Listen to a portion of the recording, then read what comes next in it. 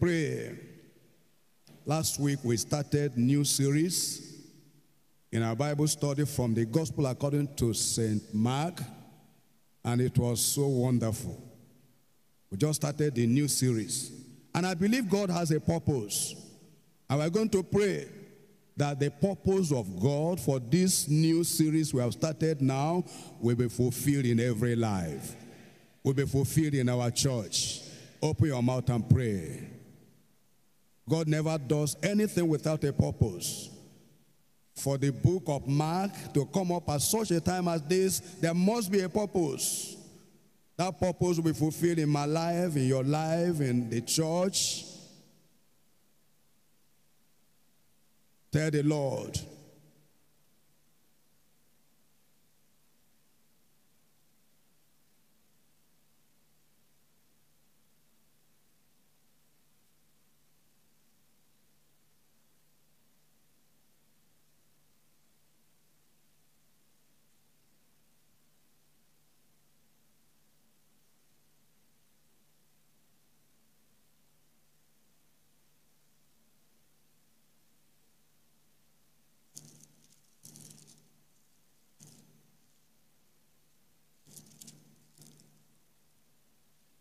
In Jesus' name we pray. Amen. Brethren, we are going to pray for a very right attitude towards God's word. There are people that have wrong attitude. The attitude of, I know it all. That verse of the scripture I read it before. That's a wrong attitude. But look at this uh, man of God praying and saying, That which I see not, teach thou me. If I have done iniquity, I will do no more. That's the right attitude. As we come before the presence of God, we are going to pray, say, God, help me. As I come today, teach me that which I know not. And even the ones I've known before, remind me your word. Open your mouth and tell the Lord that the Lord will teach us. There are many things we think we have known that the Lord will teach us today explain to us today.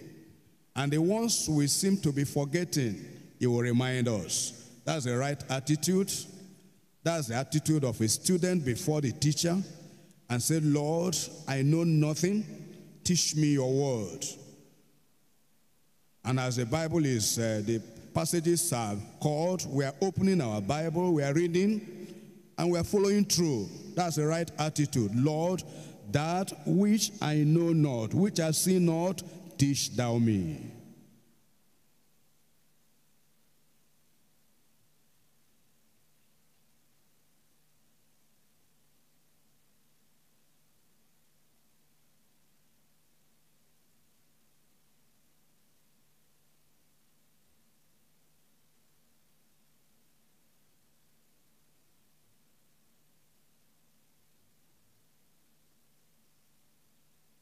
In Jesus' name we pray. We're going to pray for all our brethren, all those who are still on the way now. That the Lord who brought us here, uh, brought us here safely will bring them here safely. Every hindrance cleared out of their way. Open your mouth and pray.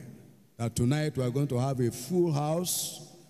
People that are coming from far, those who are coming from near. The Lord will bring everyone here safely on time so that we will participate fully in today's Bible study.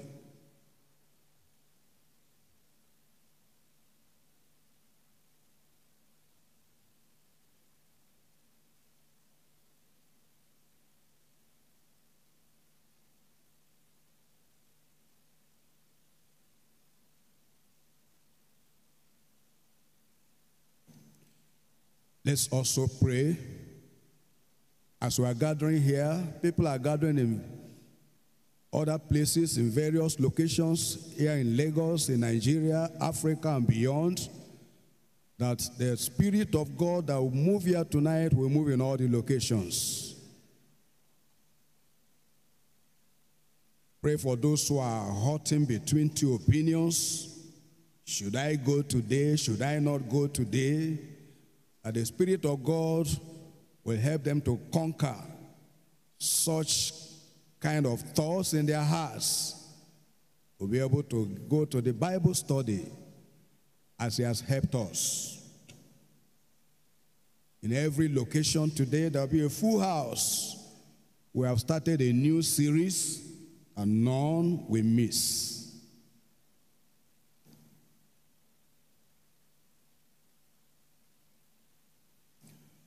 Pray for the transmission of the Bible study to all those locations.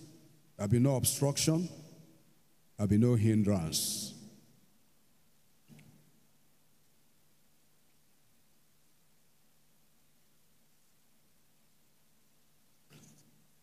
In Jesus' name we pray.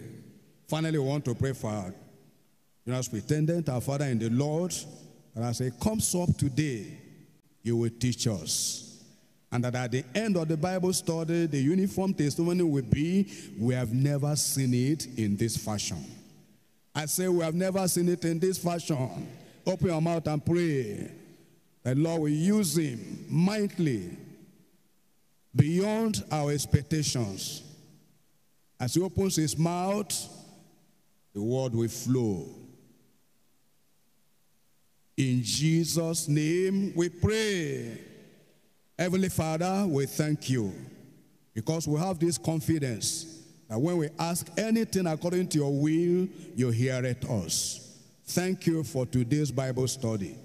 We know all the prayer points were presented before you. You have answered. At the end of the Bible study, we'll have every cause to glorify you. Thank you, Lord, because you know you have answered. In Jesus' name we pray. Amen. Let's please be seated.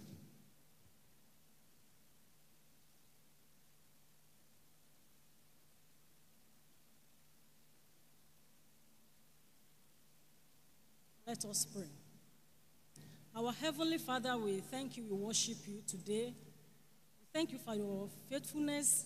Thank you for today Bible study. Lord Jesus, accept our thanks and praises in Jesus' name. Oh Lord, we are here to receive from you. We are here so that you open our eyes. Oh Lord, I pray that you will help us and you bless us today in Jesus' name. As we are going into cross section now, Father, I pray that you bless us in Jesus' name. Thank you, Father, because you have answered us. In Jesus' name, I have prayed. Amen. We are saying thank you, Jesus. We are saying thank you, Jesus. We are saying thank you, Jesus. We are saying thank you, Jesus. We are saying thank you, Jesus. Saying thank you, Jesus. Blessings and honor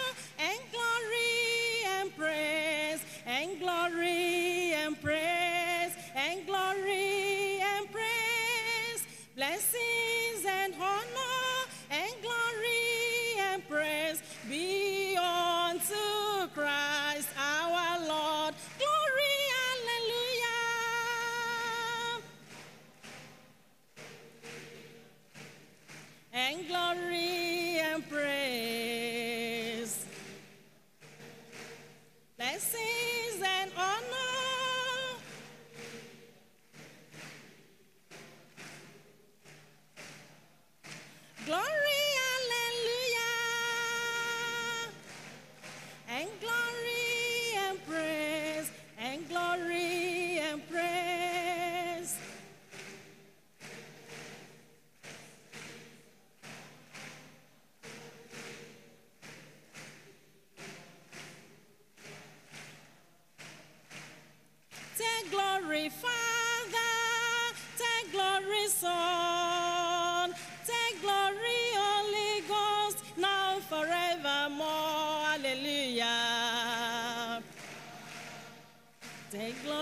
glory,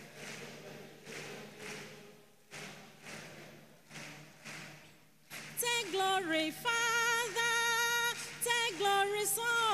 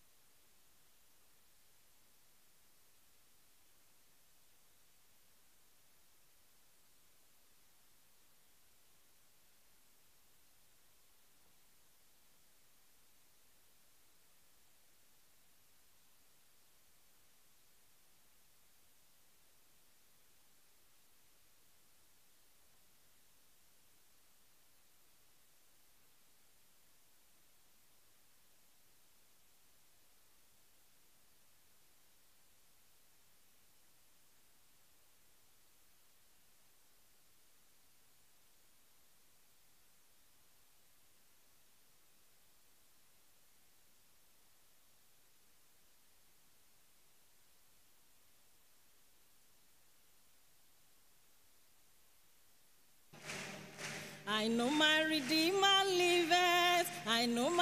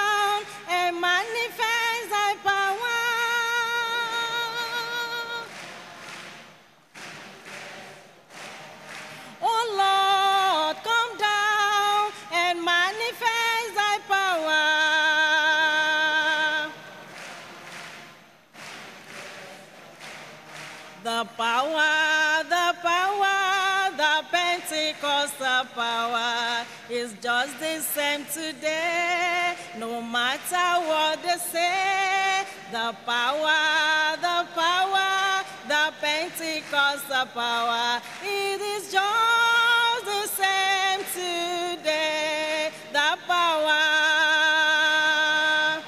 the power is just the same today.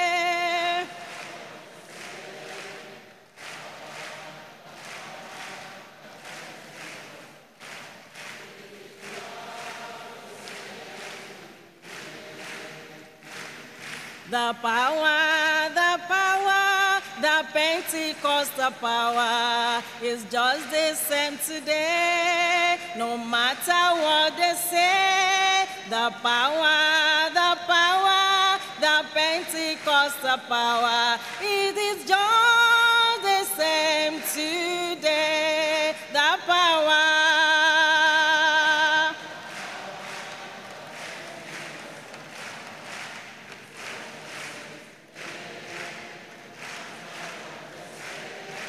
the power, the power, the Pentecostal power.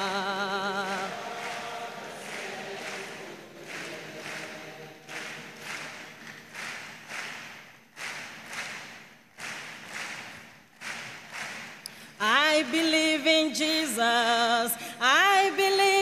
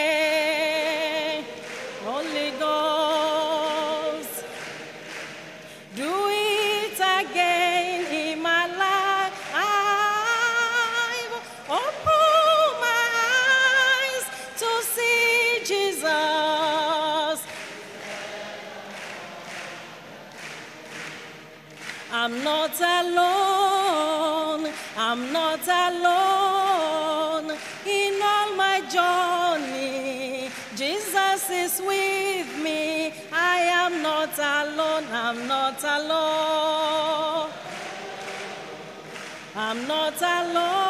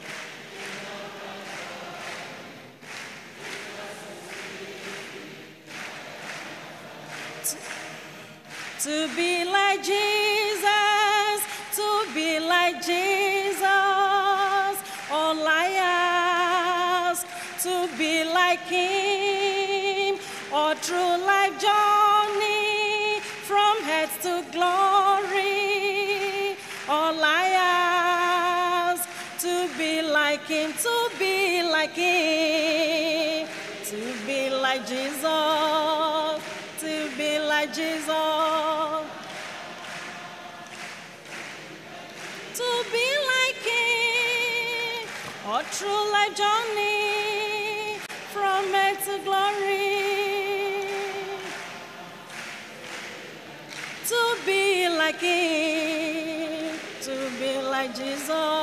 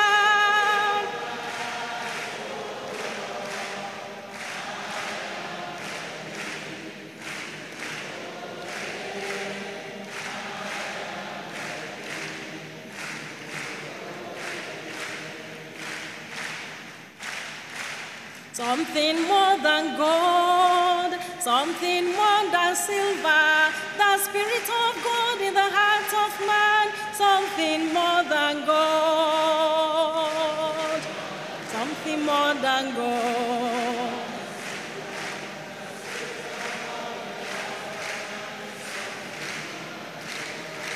Something more than gold, something more than silver, the Spirit of God in the heart of man, something more than gold.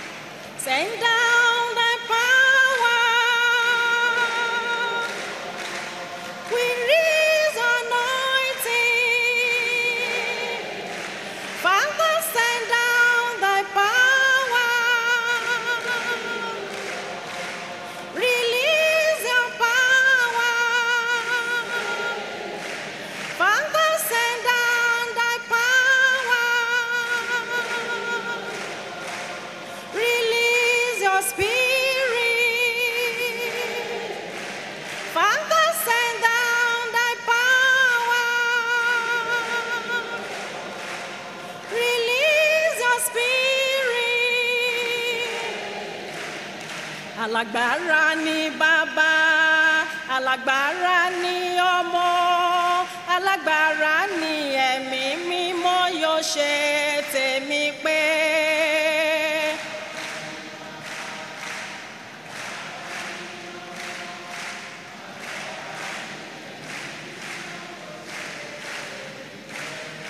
alágbára ni bàbá alágbára ni ọmọ alágbára ni ẹ̀mí mímọ́ yóò ṣe tèmi pé.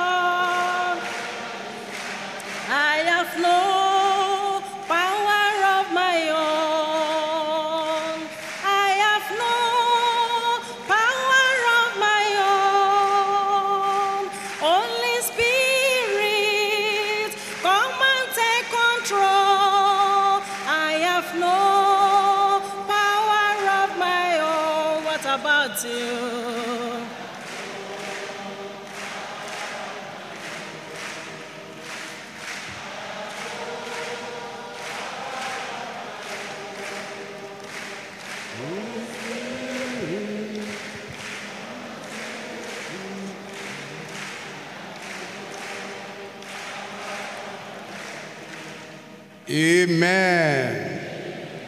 You're welcome to the Bible study of today in Jesus' name.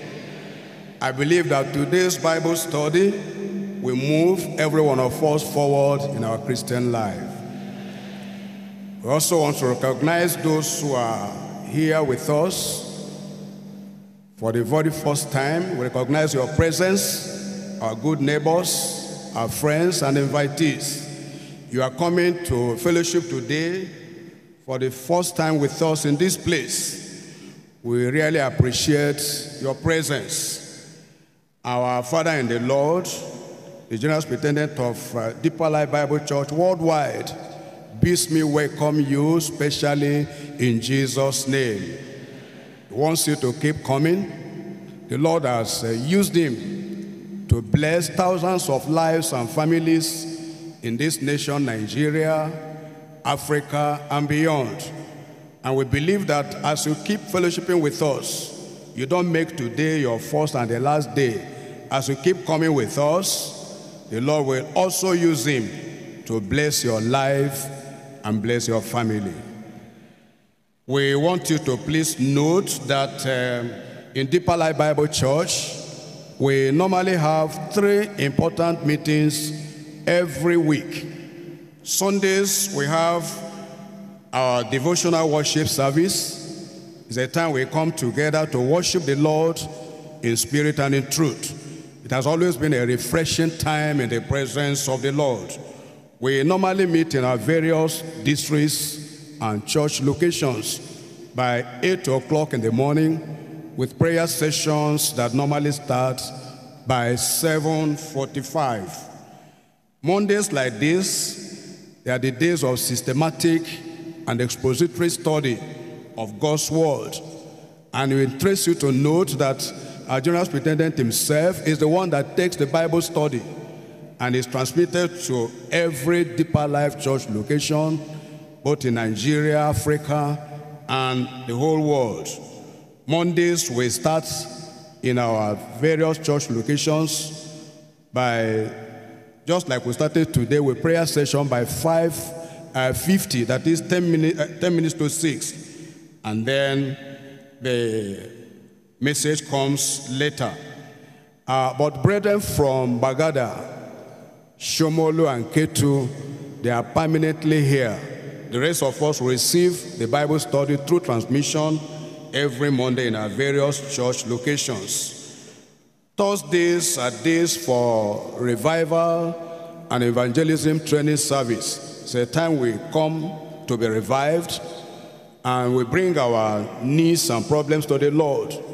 And testimonies are bound of great miracles that the Lord has been doing in our midst. It's also a time we are trained on how to go out to evangelize our community. For our friends who are coming with us, the Bible, uh, the Thursday revival service, the time varies from district to district. You need to find out from the people that invited you so that they will be able to direct you to the nearest Deeper Life Church location to where you are living and then the time of fellowship. We are going to give our tithes and offerings to the Lord. In Acts of the Apostles, chapter 20, we are told in verse 35, and I have showed you all things.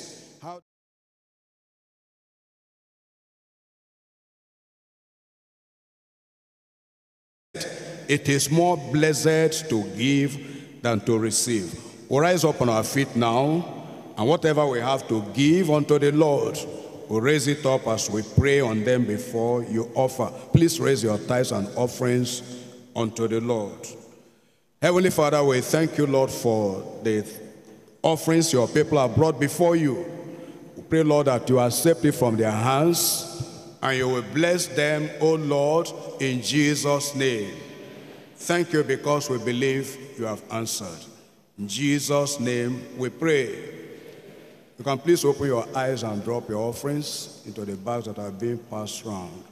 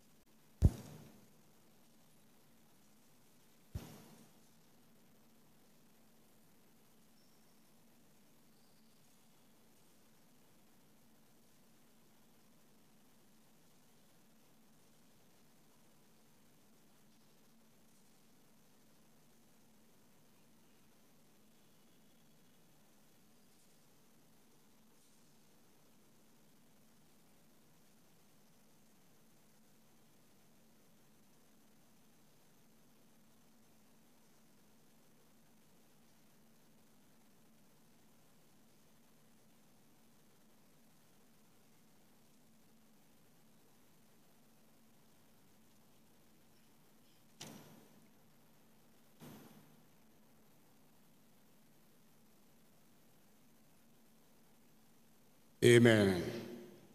We remain standing as we sing together from our gospel hymns and songs, number 260, as 260. Gospel hymns and songs, number 260. Gracious Spirit, dwell with me. I myself will gracious be, and with words that help and heal, would thy life in mine reveal, and with actions bold and meek, would for Christ my Savior speak. Truthful Spirit, dwell with me. I myself will truthful be, and with wisdom kind and clear, thy life, let, the, let thy life in mine appear, and with actions brotherly, speak my Lord's sincerity. Tender Spirit, dwell with me. I myself will tender be, shut my heart up like a flower in temptation's darksome hour. Open it when shines the sun, and is loved by fragrance own. Mighty Spirit, dwell with me. I myself would mighty be, mighty, so as to prevail where unaided men must fail, ever by a mighty hope, pressing on and bearing up. Holy Spirit, dwell with me. I myself would holy be, separate from sin, I would choose and cherish all things good, and whatever I can be, give to him who gave me thee.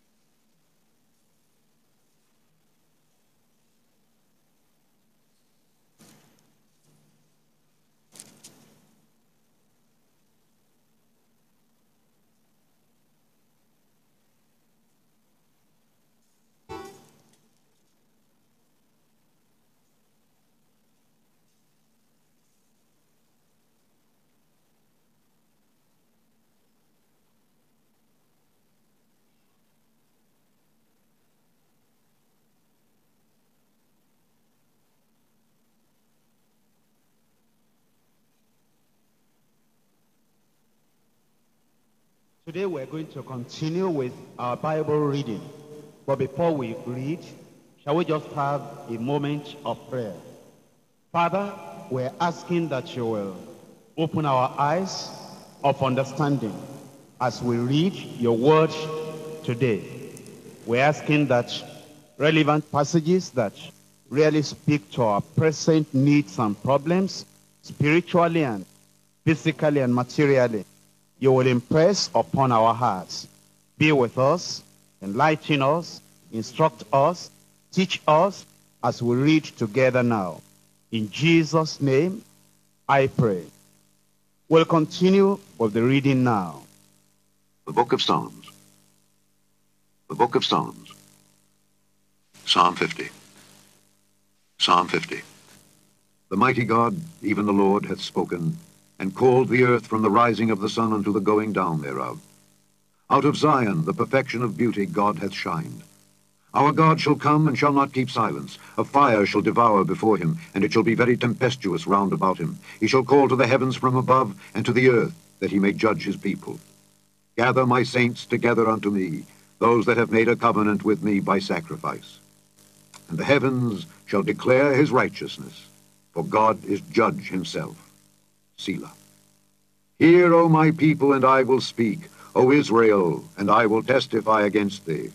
I am God, even thy God. I will not reprove thee for thy sacrifices or thy burnt offerings to have been continually before me. I will take no bullock out of thy house, nor he-goats out of thy folds. For every beast of the forest is mine, and the cattle upon a thousand hills. I know all the fowls of the mountains, and the wild beasts of the field are mine. If I were hungry, I would not tell thee, for the world is mine and the fullness thereof. Will I eat the flesh of bulls, or drink the blood of goats? Offer unto God thanksgiving, and pay thy vows unto the Most High, and call upon me in the day of trouble. I will deliver thee, and thou shalt glorify me. But unto the wicked God saith, What hast thou to do to declare my statutes? Or that thou shouldest take my covenant in thy mouth? seeing thou hatest instruction, and castest my words behind thee?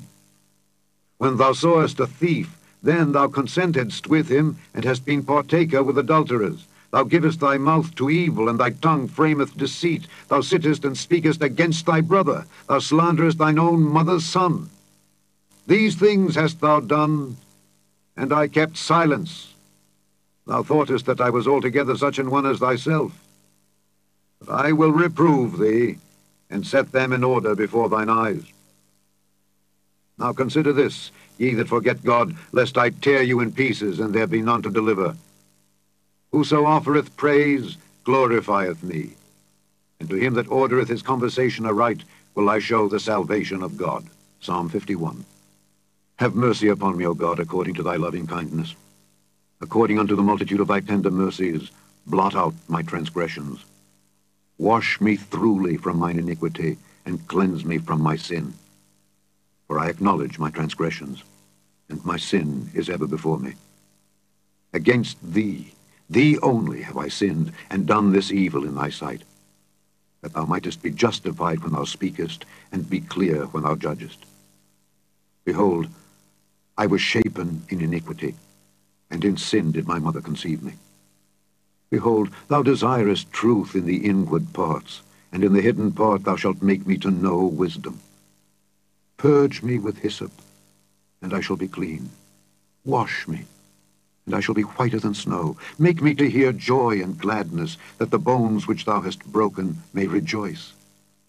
Hide thy face from my sins, and blot out all mine iniquities. Create in me a clean heart, O God, and renew a right spirit within me. Cast me not away from thy presence, and take not thy Holy Spirit from me.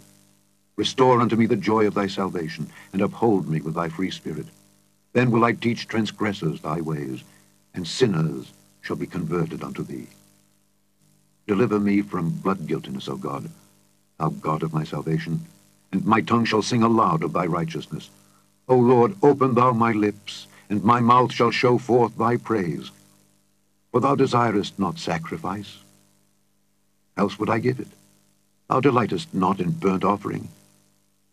The sacrifices of God are a broken spirit. A broken and a contrite heart, O God, thou wilt not despise. Do good in thy good pleasure unto Zion. Build thou the walls of Jerusalem. Then shalt thou be pleased with the sacrifices of righteousness, with burnt offering and whole burnt offering. Then shall they offer bullocks upon thine altar. Psalm 52. Why boastest thou thyself in mischief, O mighty man? The goodness of God endureth continually. Thy tongue deviseth mischiefs, like a sharp razor, working deceitfully. Thou lovest evil more than good, and lying rather than to speak righteousness. Selah. Thou lovest all devouring words, O thou deceitful tongue. God shall likewise destroy thee forever. He shall take thee away and pluck thee out of thy dwelling place, and root thee out of the land of the living. Selah. The righteous also shall see and fear, and shall laugh at him. Lo, this is the man that made not God his strength, but trusted in the abundance of his riches, and strengthened himself in his wickedness. But I am like a green olive tree in the house of God. I trust in the mercy of God forever and ever. I will praise thee forever, because thou hast done it, and I will wait on thy name, for it is good before thy saints. Psalm 53. The fool hath said in his heart, There is no God. Corrupt are they, and have done abominable iniquity. There is none that doeth good. God looked down from heaven upon the children of men to see if there were any that did understand, that did seek God. Every one of them is gone back. They are altogether become filthy. There is none that doeth good, no, not one. Have the workers of iniquity no knowledge, who eat up my people as they eat bread? They have not called upon God. There were they in great fear, where no fear was. For God hath scattered the bones of him that encampeth against thee. Thou hast put them to shame, because God hath despised them. Oh, that the salvation of Israel will come out of Zion. When God bringeth back the captivity of his people, Jacob shall rejoice, and Israel shall be glad. Psalm 54. Save me, O God, by thy name, and judge me by thy strength. Hear my prayer, O God. Give ear to the words of my mouth. For strangers are risen up against me, and oppressors seek after my soul. They have not set God before them. Selah. Behold, God is mine helper. The Lord is with them that uphold my soul. He shall reward evil unto mine enemies. Cut them off in thy truth. I will freely sacrifice unto thee. I will praise thy name, O Lord, for it is good. For he hath delivered me out of all trouble, and mine eye hath seen his desire upon mine enemies. You have just listened to the Bible reading, and we need to take whatever we have learned to the Lord in prayer. Will you all rise up, please? Talk to the Lord in prayer. You've seen a commandment, a warning, an example, an instruction to obey, a promise to claim. Pray for grace that you will do as you have learned in the Word of God. In Jesus' name we pray.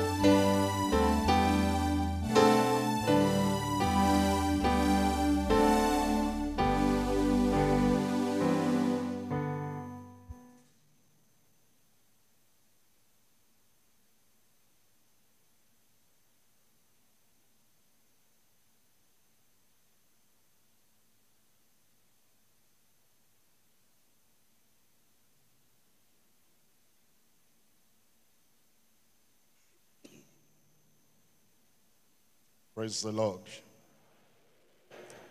Let's have a word of prayer before the Bible study. Heavenly Father, we thank you for the Bible study. Thank you for your goodness upon our lives. Thank you for the faithfulness of your people, leaders, workers, and members, and invitees. Thank you for all of us who are here tonight. Asking, O Lord, that your word will enrich our lives in Jesus' name. That the Holy Spirit will breathe on the word. And the sweetness of the Spirit will be communicated to every heart in Jesus' name. Empower your people. Enlighten your people. And help us to behold great and wondrous things out of your word in Jesus' name. We thank you because we know you have answered. In Jesus' name we pray. Want to continue our study of the gospel according to St. Mark. We're in chapter 1. Already we have gone through verses 1 to 6. And tonight we're looking at verses 7 and 8. Please open your Bible as we read together. Mark chapter 1, verse 7 and verse 8. And preached, that is John preached, saying, There cometh one mightier than I after me, the latchet of whose shoes I am not worthy to stoop down and unloose. I indeed baptize you with water, but he shall baptize you with the Holy Ghost. As John introduced the Lord Jesus Christ, who had not started his public ministry as yet, he started by saying, There cometh one mightier than I after me, that ye you have not seen him. He has not appeared unto you. He has not been manifested unto Israel publicly, but I know him, and I know he's coming after me, and he is mightier than I. When you think about what John has said, you'll see his humility and submission or submissiveness unto the Lord. Already he was a popular man, a popular minister because many people came from Jerusalem, they came from Judea, they came from all over to be baptized of him in Jordan. And here he was talking about somebody they had not even known, they had not seen. And he said, he's coming after me, but he's mightier than I. And John was saying the truth because he knew, number one, the eternality of the Lord Jesus Christ is being from everlasting. And he was born as a man into this world. And so he said, is mightier than I. Not only that, here is uh, the second personality in the Godhead. And uh, he is just a man, a human being. and therefore he said, I know him. He's not an ordinary one. In fact, he's equal with the Father. Although he thought it not robbery to be equal with the Father, he's making himself a servant, is mightier than I.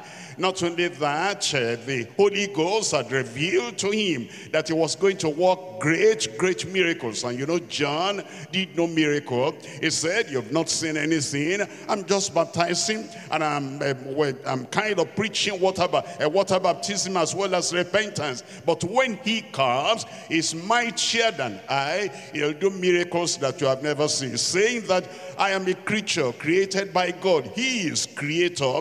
And because he's creator king and his creator Lord, is king of kings and is Lord of lords, obviously is mightier than I. Not only that, when he comes to this world, is going to make a sacrifice for the sins of the whole world, I cannot sacrifice for any man's sin, and I do not have authority to forgive anyone, but this one that is coming is mightier than I. In fact, it's going to be the Lamb of God that taketh away the sin of the world. And then he says, as he goes through his ministry, is going to provide salvation, is going to provide righteousness. He will die on the cross of Calvary. He will be buried. He will rise again the third day. That I cannot claim for myself is mightier than I. And when he came into this world, the Almighty God said, the angels shall worship him is mightier than I.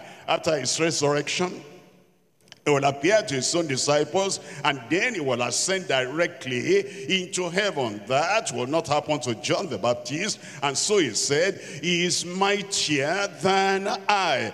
And eventually at the end of the age, at the end of this world, all the nations of the world will be gathered before the Lord Jesus Christ. For the Father has given him authority to judge all people and judge all things. It's by his word, it's by his authority. The people will get to heaven or they will miss heaven if they don't believe in him. John said, I'm not like that. He is the final judge. He is the King of kings and the Lord of lords is mightier than I. And then he says, I'm baptizing with water. But when he comes, he's going to baptize you with the Holy Ghost and with fire. And as fire is greater than water, and as the Holy Ghost is greater than uh, what I am doing, therefore is mightier than I. That was the introduction he gave to the Lord Jesus Christ as he was preaching. There cometh one mightier than I after me, after me. Actually, John was born about six months before the Lord Jesus Christ. And at the age of 30, he started his ministry.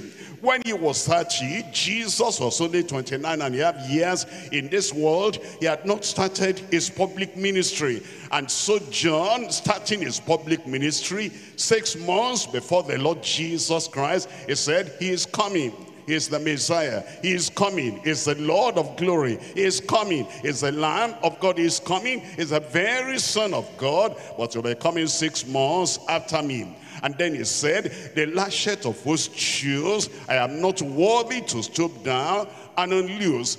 In those days, because of the dusty road, in many of their towns and villages, they wore sandals. And when you get into the house of a guest, and you are a guest in the house, and somebody will come and untie and unloose uh, the lashes of the shoes, so that you leave the shoes there, and then you enter into the house, and the guest or the, the host over there will wash your feet. And normally, the people that were assigned to um, lose the latchet of the shoes or the shoelace will be the lowest servant and the lowest slave in that uh, household. And he said, I'm not even worthy to be his servant or to be his slave. I am lower than the lowest of the slaves in the household. That's what he was saying when he said, there cometh one mightier than I and is coming after me.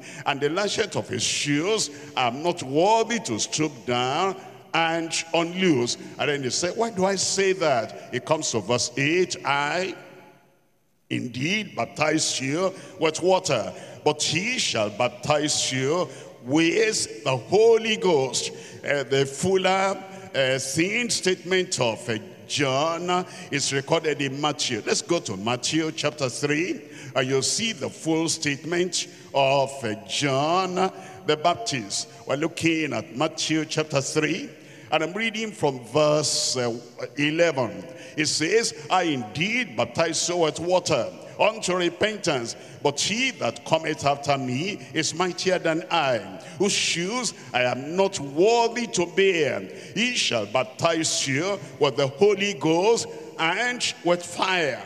He'll baptize you the Holy Ghost and with fire. He didn't stop there. You see, there's no full stop. After that word fire, there's a colon there. He continues in verse 12, whose fan is in his hand. And he will thoroughly purge his floor and gather his wheat into the garner. But he will burn up the chaff with unquenchable fire. The same record is given to us in Luke chapter 3.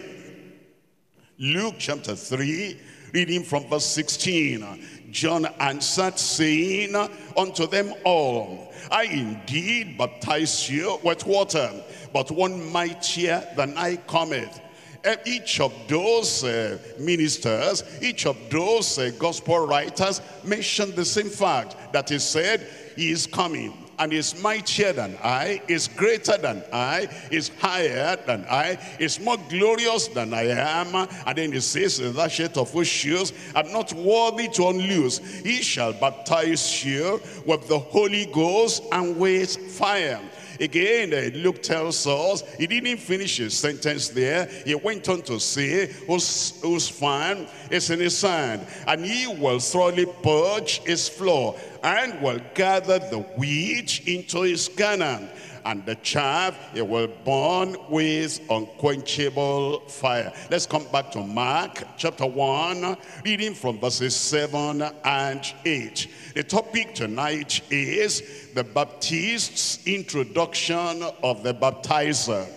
The Baptist's introduction of the baptizer. Jesus is a baptizer in the Holy Ghost. And Jesus is the one that will empower the believer in the power of the Holy Ghost. It's the one that will send the comforter. It's the one that will send the paraclete. It's the one that will strengthen his own people who are saved, his people who are sanctified, and he immerses them in the power of the Holy Ghost. Is the baptizer. And now John the Baptist who baptizes in water is introducing the one who baptizes in the Holy Ghost. There are three things we're looking at. Number one, the faithful recipients of the Holy Ghost. The faithful recipients of the Holy Ghost. The people that waited, the people that were faithful, the people that were obedient after they had been saved. And after the Lord had prayed for their sanctification, he told them to wait in Jerusalem until the Holy Ghost will be given to them with the power of the baptism. And that's number one, the faithful recipients of the Holy Ghost. Number two, the fruitful refinement of holy sanctified saints the fire that comes with the Holy Ghost, because we are told cloven tongues like us of fire came upon each of them before they began to speak with other tongues as the Spirit gave them utterance. That fire that came, that made them flaming ministers of the gospel. That fire that came, that made them revived, fervent preachers of the word of God, is the fruitful refinement of the holy, sanctified saints. Point number three, the fearful retribution of hardened hypocritical sinners. The chaff that will be burnt with fire, with unquenchable fire. The fearful retribution of hardened hypocritical sinners. Point number one, we're looking at the faithful recipients of the Holy Ghost. I'm reading from Mark chapter 1 verse 8. I indeed baptize you with water I immerse you into the water. I dip you inside the water. I totally put you inside the water so that the water is all around you and the water covers you. But he that is coming, he shall baptize you. It shall immerse you. It shall dip you. It shall put you inside the Holy Ghost until the Holy Ghost will overwhelm you. The Holy Ghost will surround you. The Holy Ghost will saturate you. And the Holy Ghost will fill you up unto overflowing. It shall baptize you with the Holy Ghost. Look at what Jesus Christ himself said in Acts of the Apostles chapter 1. Acts of the Apostles chapter 1, we're reading from verses 4 and 5. Acts chapter 1, verses 4 and 5, and being assembled together with them, he commanded them that they should not depart from Jerusalem. This was so very important. It was uh, the Holy Ghost was equipped them empower them. The Holy Ghost was to strengthen them.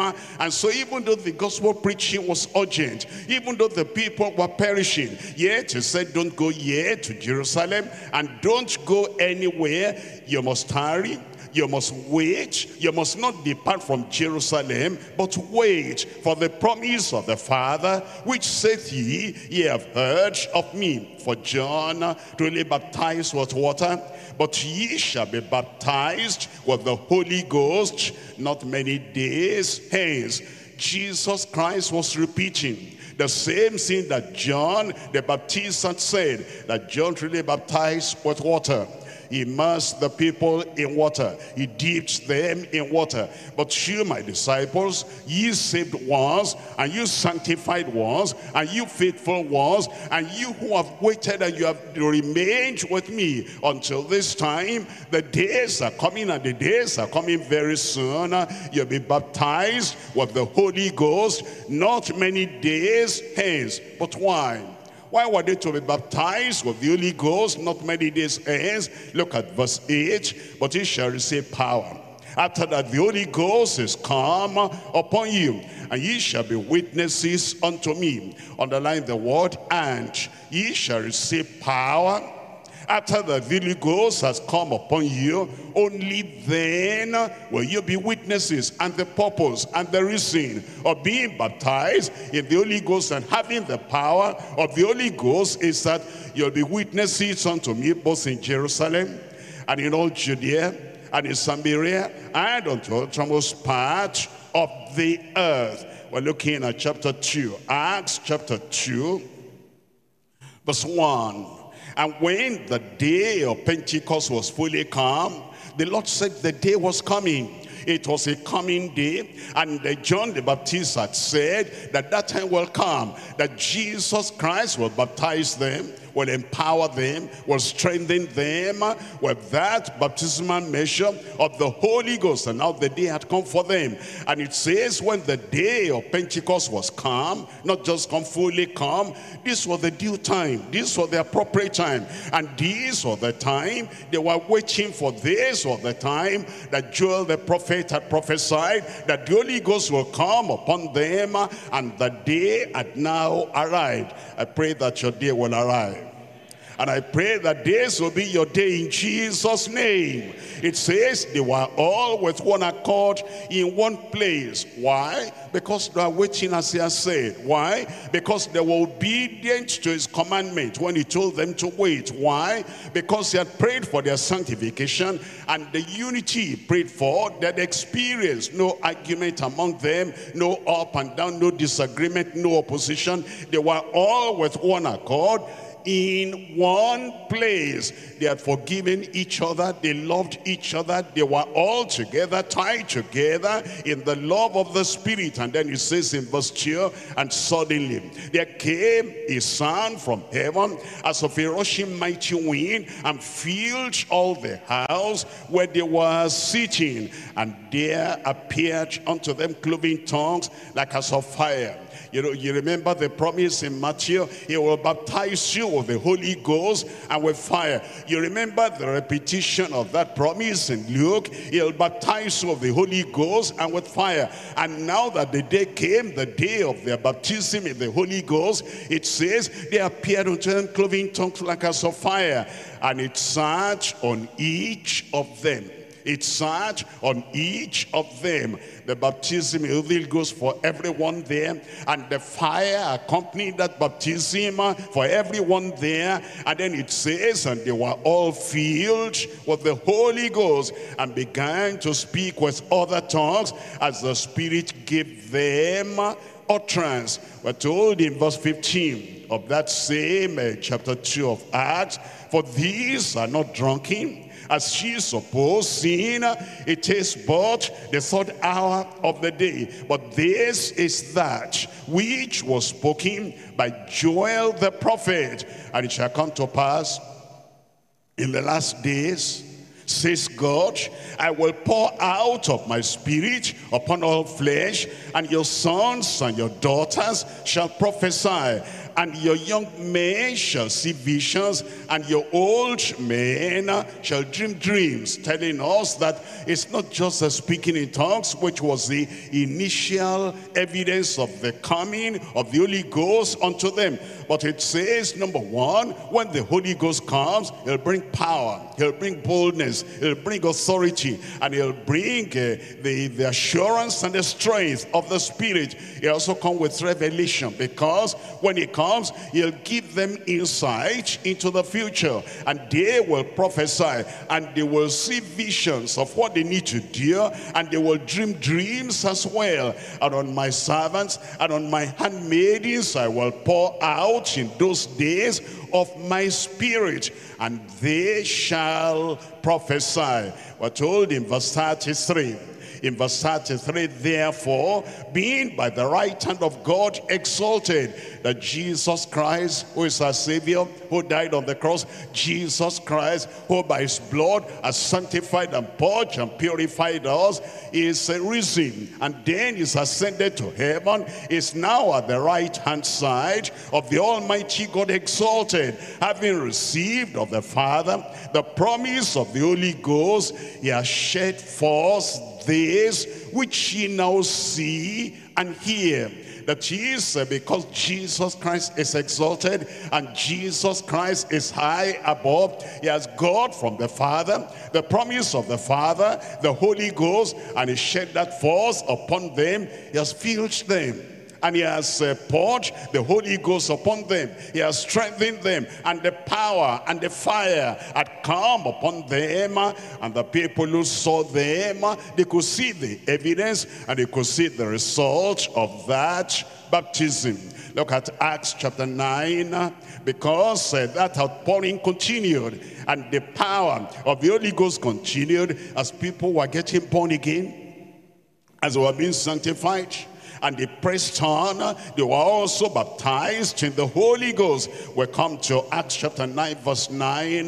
We're looking at Paul the apostle. When he got converted, it says in uh, chapter 9 verse 9, and it was three days without sight, and neither did eat nor drink. That's Paul the apostle. He was Saul. He had met the Lord on the way to Damascus, and he had been born again. The Lord had touched his life and changed his life. He had asked the question, Lord, what will you have me to do? And the Lord directed him to go and wait in, uh, in Damascus. It will be revealed to him uh, what he will do. And he obeyed. And while he obeyed, the Lord sent Ananias to him. Look at uh, chapter, uh, chapter 9, verse 11. It says, the Lord said unto him, unto Ananias, arise and go into the street that is called straight and inquire in the house of Judas for one called Saul of Tarsus, for behold, he prays.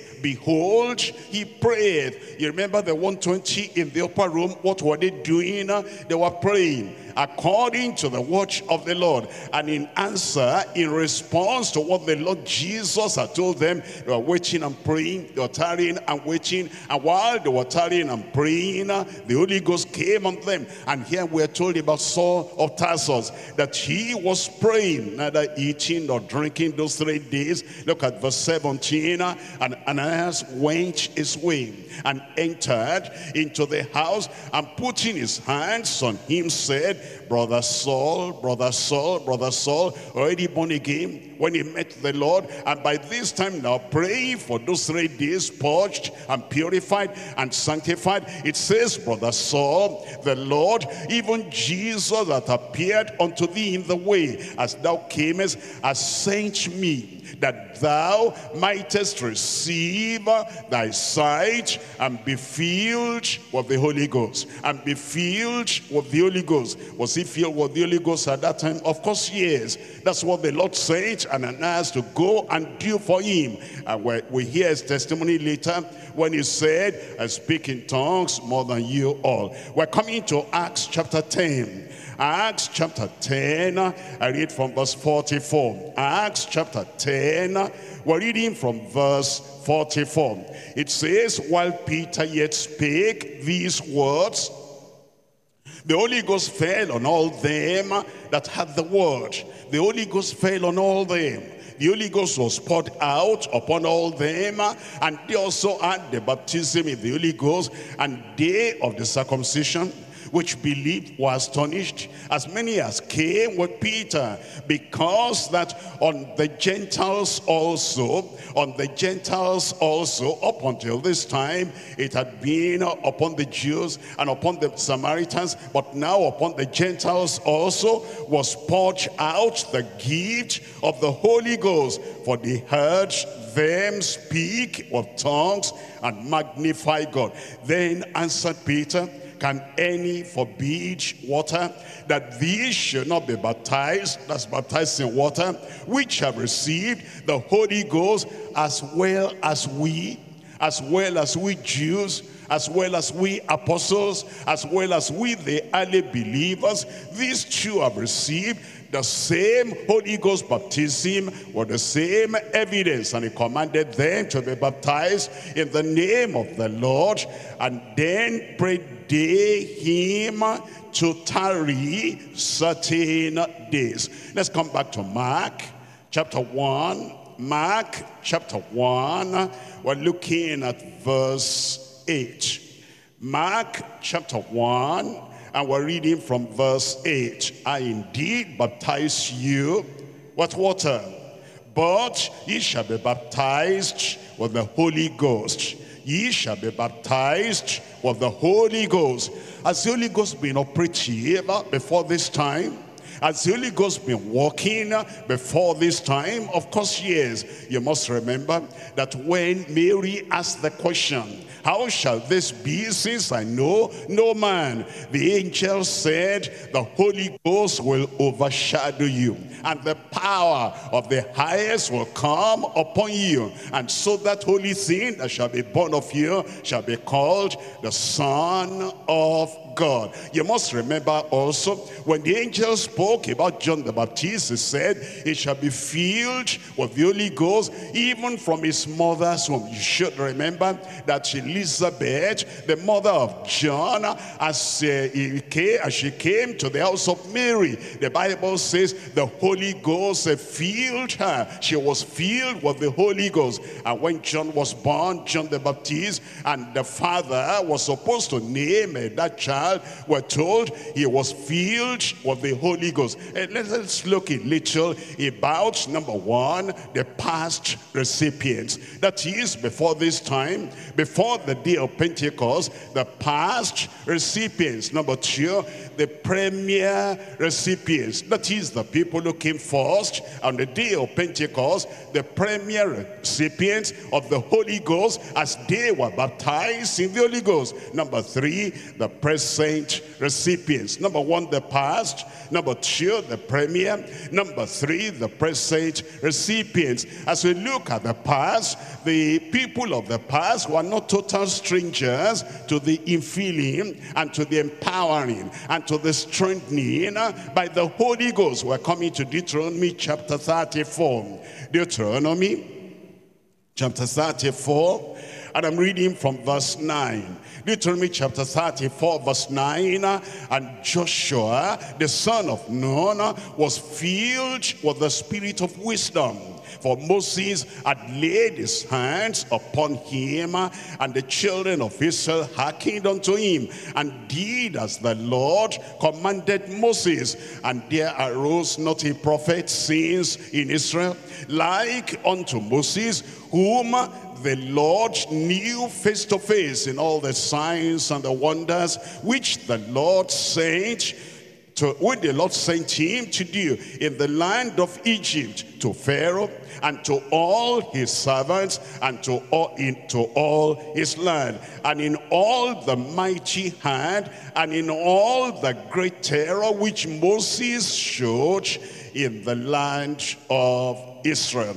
And so you understand that when we talk about the Holy Ghost working with ministers and the Holy Ghost working with believers, believers in the word of God, we see the example of Moses. In fact, uh, Moses had a desire as he looked forward to the time we're living now. We're looking at Numbers chapter 11.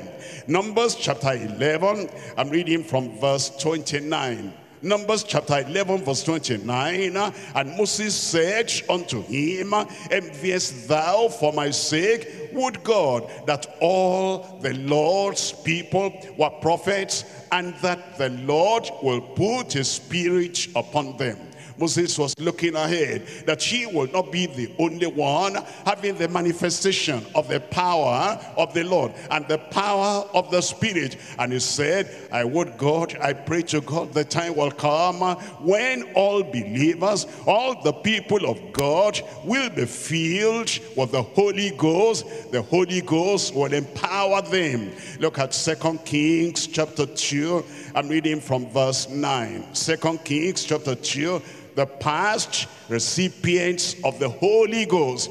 The only thing is that in the Old Testament, they did not speak with new tongues as the Spirit gave them utterance, but they had the power. They had the insight, they had the vision, they had the prophecy, and they had the faith, and they had the miracles, and they had the signs and the wonders by the Holy Ghost. If it happened to them of the past, how about the people of today? How can people say they have the Holy Ghost today and there's no evidence and there's no difference between uh, when they say they are baptized in the Holy Ghost and the time they say they are saved? There must be the power manifestation and there must be the practical manifestation. There must be the purposeful manifestation that somebody has got the power of the Holy Ghost, the vision of the Holy Ghost, and he has got the gifts and the grace of the Holy Ghost. We're looking at Second Kings chapter 2, and I'm reading from verse 9. Second Kings chapter 2, reading from verse 9.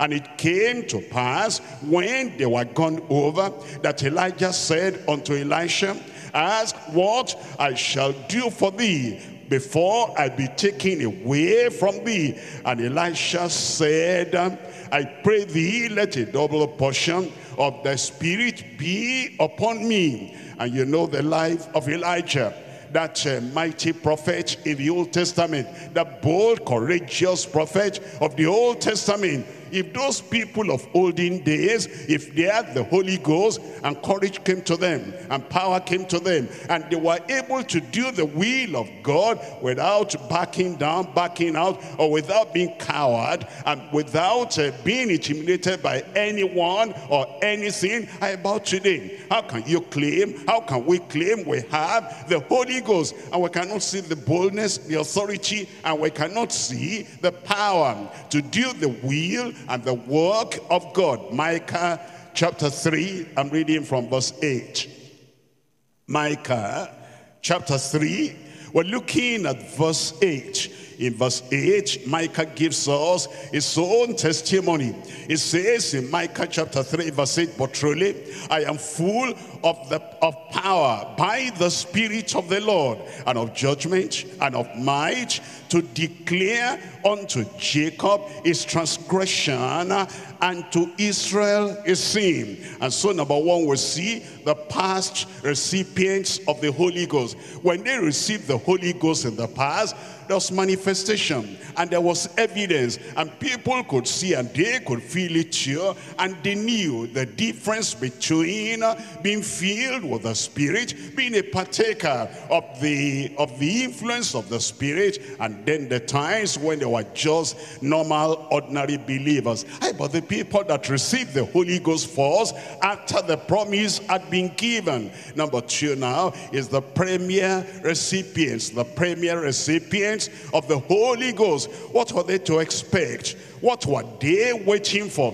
When Jesus told them, wait in Jerusalem until ye be endued with power from on high. We're looking at John chapter 14. John chapter 14, I'm reading from verse 16. John chapter 14, verse 16. And I will pray the Father, and he shall give you another comforter, that he may abide with you forever.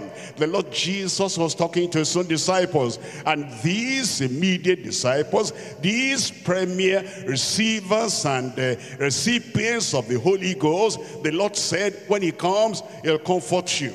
You'll not be so sorrowful that you'll be hopeless, but he'll bring words of comfort to you. He'll be the comforter, even the spirit of truth, whom the world cannot receive, because it seeth him not, neither knoweth him, but ye know him, for he dwelleth with you, and he shall be in you.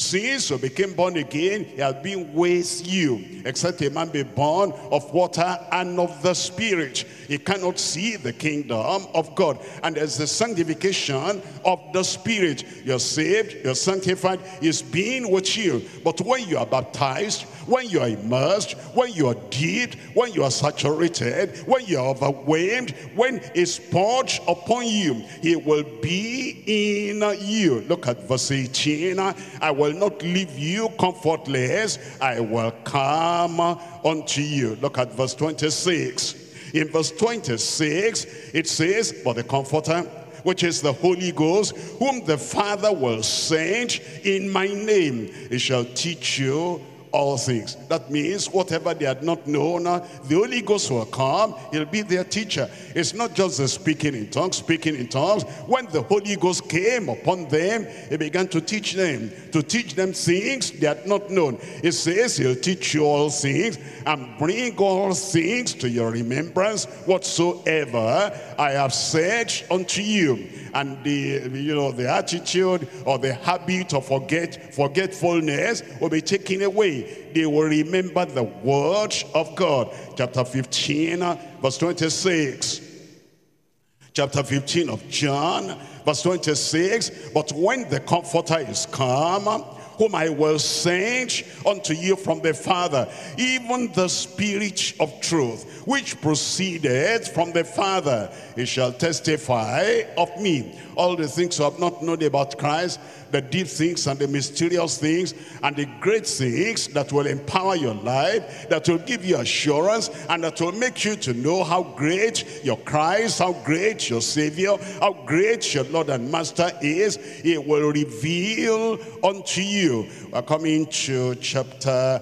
uh, 16 uh, and I'm reading from verse 7. Uh, John chapter 16, uh, reading from verse 7. It says verse 7, Nevertheless, I tell you the truth. It is expedient for you. It's profitable for you that I go away. For if I go not away, the Comforter will not come. I'm here now as your Savior, and so he has not come to you as your strengthener. I'm here now as uh, your Redeemer. He has not come to you as the Comforter. But when I am gone, if I depart, I will send him. I will send him. It's a personality like Christ. I will send him is the third personality in the Holy Ghost. I will send him unto you. And when he is come, he will reprove the world of sin. That is, when you preach, you'll not be superficial, you'll be penetrating, you'll be pungent, and you'll be pointed because the Holy Ghost through you will reveal, will reprove the world of sin and of righteousness and of judgment of sin because they, they believe not on me of righteousness because I go to my Father and you see me no more of judgment because the prince of this world is judged. I have yet, I have yet many things to say unto you, but ye cannot bear them now. Not just one thing, not just two or three things. I have many, many things to say unto you, but I've not revealed them to you. You think you have known it all. You think you know a lot, but many things have not revealed unto you. But how be it, in verse 13, when he, the spirit of truth is come, he will guide you into all truth. That's why they were waiting. That's why they were praying. That's why they were expecting because the Holy Ghost was to come to them and the power of the Holy Ghost and the great transforming influence of the Holy Ghost was to come upon them and will guide them into all truth. For he shall not speak of himself, but whatsoever he shall hear, that shall he speak, and he will show you things to come. He will show you things to come. And let's come to Acts chapter 4, verse 31. Acts chapter 4, verse 31. Here it says, and when they had prayed, the place was shaking when they were assembled together. And they were all filled with the Holy Ghost, and they spake the word of God with boldness. That's the purpose, that's the reason, that was the expectation, and that was the thing the Lord told them, wait in Jerusalem until ye be endued with power from on high. And when that power is come, after the Holy Ghost has come upon you, ye shall be witnesses unto me both in Jerusalem and Judea. And now we're told even after the initial evidence of the baptism in the Holy Ghost, now as they prayed, as a whole church, members and ministers, they spoke the word of God with boldness. Verse 33, and with great power gave apostles witness of the resurrection of the Lord Jesus, and great grace was upon them all. Everywhere those apostles went, everywhere those believers went, they declared the gospel of salvation and the gospel of the grace of God and the gospel of the new covenant with power and with authority. And many people turned unto the Lord. First Corinthians chapter 12. First Corinthians chapter 12, the premier recipients of the Holy Ghost, what happened to them? What did they have? And what did they demonstrate? And what greater and further evidences came in their lives? We're looking at First Corinthians chapter 12. I'm reading from verse 7. But the manifestation of the Spirit is given to every man to profit withal. For to one is given the Spirit, by the Spirit, the word of wisdom. And, to another, the word of knowledge by the same Spirit. And to another, faith by the same Spirit. And to another, the gifts of healing by the same Spirit. And to another, the working of miracles. And to another, prophecy and to another discerning of spirits, and to another diverse kinds of tongues, and to another interpretation of tongues. But all these worketh that one and the self same spirit, dividing to every man severally as he will. Number one, the past recipients of the influence, of the strength, of the power, of the Holy Spirit. Number two, the premier recipients of the Holy Spirit. It is great influence and its great power. Number three now, the present recipients. Those of us who are alive today and those of us who are part of the church today because the promise is also unto us. It tells us in Luke chapter 24. Luke chapter 24, I'm reading from verse 46. Luke chapter 24, verse 46, and said unto them, Thus it is written, and thus it behoved Christ to suffer and to rise from the dead the third day, and that repentance and remission of sins should be preached in his name among all nations, beginning at Jerusalem. Among all nations, all nations, and ye are witnesses of these things. And behold, I send the promise of my Father upon you. And remember, the promise of that of the Father was not only for them of the past, is for the people of today as well. Because we're to preach repentance in all nations. And the signs are supposed to follow us in all nations as we declare the word and the gospel of the Lord, even to the uttermost part of the earth. And behold, I send the promise of my Father upon you. But tarry ye in the city of Jerusalem until ye be endued with power from on high. John chapter 7.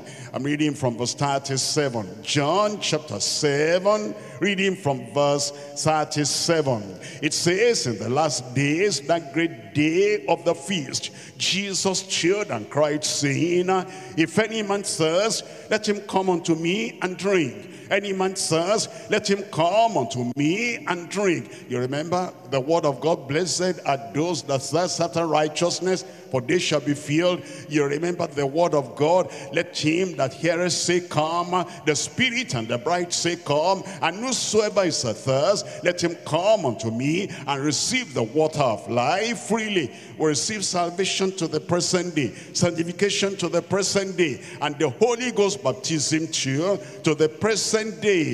It says, If any man thirst, let him come unto me and drink. He that believeth on me to the present hour, as the scripture said, out of his belly, out of his innermost being shall flow rivers of living water. But this speak he of the Spirit, which they that believe on him shall receive. For the Holy Ghost was not yet given because that Jesus was not yet glorified. Today too, the Holy Ghost is available and he, can, he will baptize us, he will baptize you in Jesus' name. The present recipients of the Holy Spirit, what happens to us? We're looking at First Corinthians chapter 2. First Corinthians chapter 2, and I'm reading to you from verse uh, from verse 9. First Corinthians chapter 2, verse 9. But as it is written, Eye has not seen, no ear heard, neither have entered into the heart of man the things which God has prepared for them that love him. There are people that still love God today, and there are people who love God because the love of God is shed abroad in our hearts by the Holy Ghost. We love God today because until Christ comes, until we leave this world, thou shalt love the Lord your God with all your heart, with all your soul, and with all your mind, and with all your strength. And there are things God has prepared for them that love him. How are we going to know that? Look at verse 10. But God has revealed them unto us by Spirit in the present hour at the present age and in the present day the Lord reveals all those great things that eyes have not seen that ears have not heard that have not entered into the hearts of men. God reveals them to us by his spirit for the spirit searches all things yea the deep things of God. Look at verse 13 which things also will speak, not in the words which man's wisdom teaches, but which the Holy Ghost teaches. We receive those things through the teaching of the Holy Ghost. He becomes a teacher himself, comparing spiritual things with spiritual. Second Timothy chapter 1, verses 13 and 14. The present recipients of the Holy Ghost, of the Holy Spirit. What does he do in our lives as we receive him today? Second Timothy chapter 1, verse 13. Hold fast the form of sound words which thou hast heard of me in faith and love which is in Christ Jesus. That good thing which was committed unto thee, keep by the Holy Ghost which dwelleth in us. Keep by the Holy Ghost the power to keep the word of God and the power to preserve everything he has given us that comes through the help of the Holy Ghost. Jude chapter 1, Jude chapter 1, reading from verse 20. In Jude chapter 1, verse 20, it says, But ye beloved, building up yourselves on your most holy faith, praying in the Holy Ghost. For us not to be stagnant, for us not to be backward, for us not to uh, retrogress, for us not to go back, for us not to be like a pond of water that is stinking and staying at the same level all the time. We build up ourselves, we stir up ourselves, and we make progress by the Holy Ghost that dwells in us.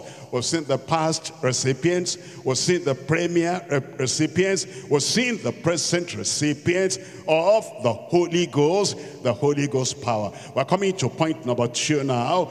The fruitful refinement of holy sanctified saints. We're coming to Mark chapter 1. Mark chapter 1, I read from verse 8.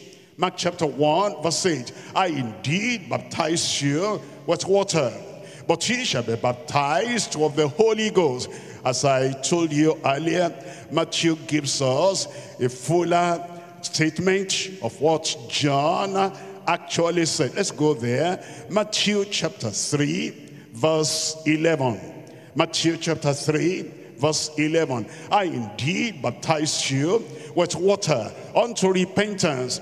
But he that cometh after me is mightier than I, whose shoes I am not worthy to bear.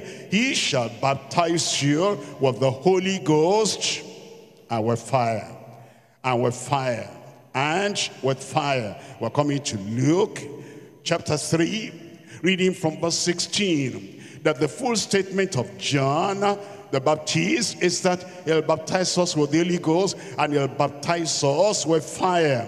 We're coming to Luke chapter 3, reading from verse 16. John answered, saying unto them all, I indeed baptize you with water, but one mightier than I cometh, the latchet of whose shoes I am not worthy to unloose. He shall baptize you with the Holy Ghost and with fire. The question is, what's the purpose of that fire? And where is the evidence of that fire?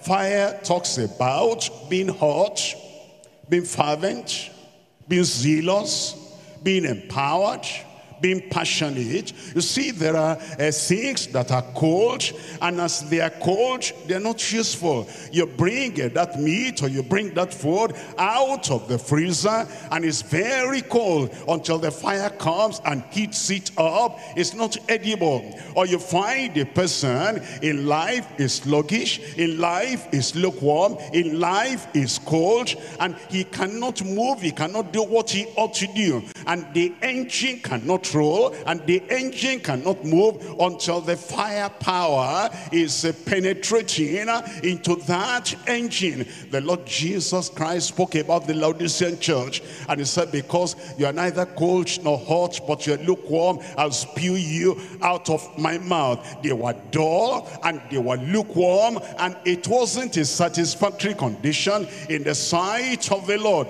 That's why he said, you'll be baptized in the Holy Ghost and with fire. Acts of the Apostles chapter 2, I'm reading from verse 1. Acts of the Apostles chapter 2, reading from verse 1. Here it says in verse 1, and when the day of Pentecost was fully come, they were all with one accord in one place, and suddenly there came a sound from heaven as of a rushing mighty wind, and it, and it filled all the house where they were sitting, and there appeared unto them cloven tongues like as of fire. That's the fulfillment of the prophecy and the promise. There appeared unto them cloven tongues like as of fire, and it sat on each of them.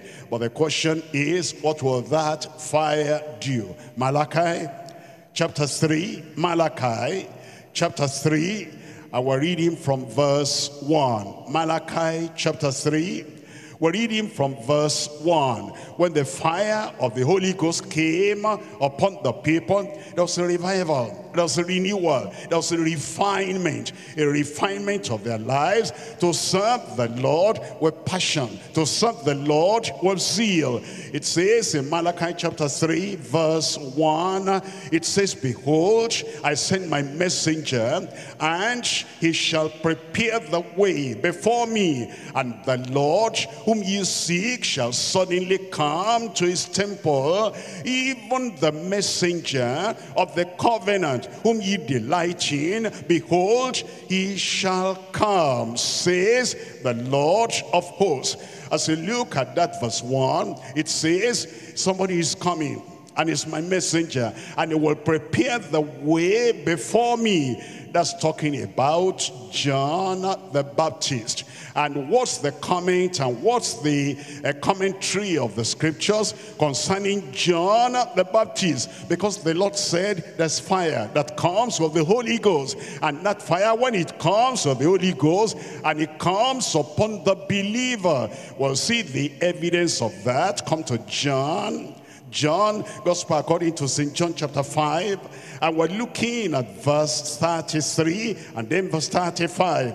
Ye sent unto John, and he bear witness unto the truth. Verse 35, it was a burning and a shining light. It was a burning and a shining light. That's a fire. That's what the fire does. When you're filled with the Holy Ghost and you're filled with the fire, with the fervency and with the flame and with the passion of the Holy Ghost, it says it was a burning and a shining light and ye were willing for a season and to rejoice in his light. Come back to Malachi chapter 3.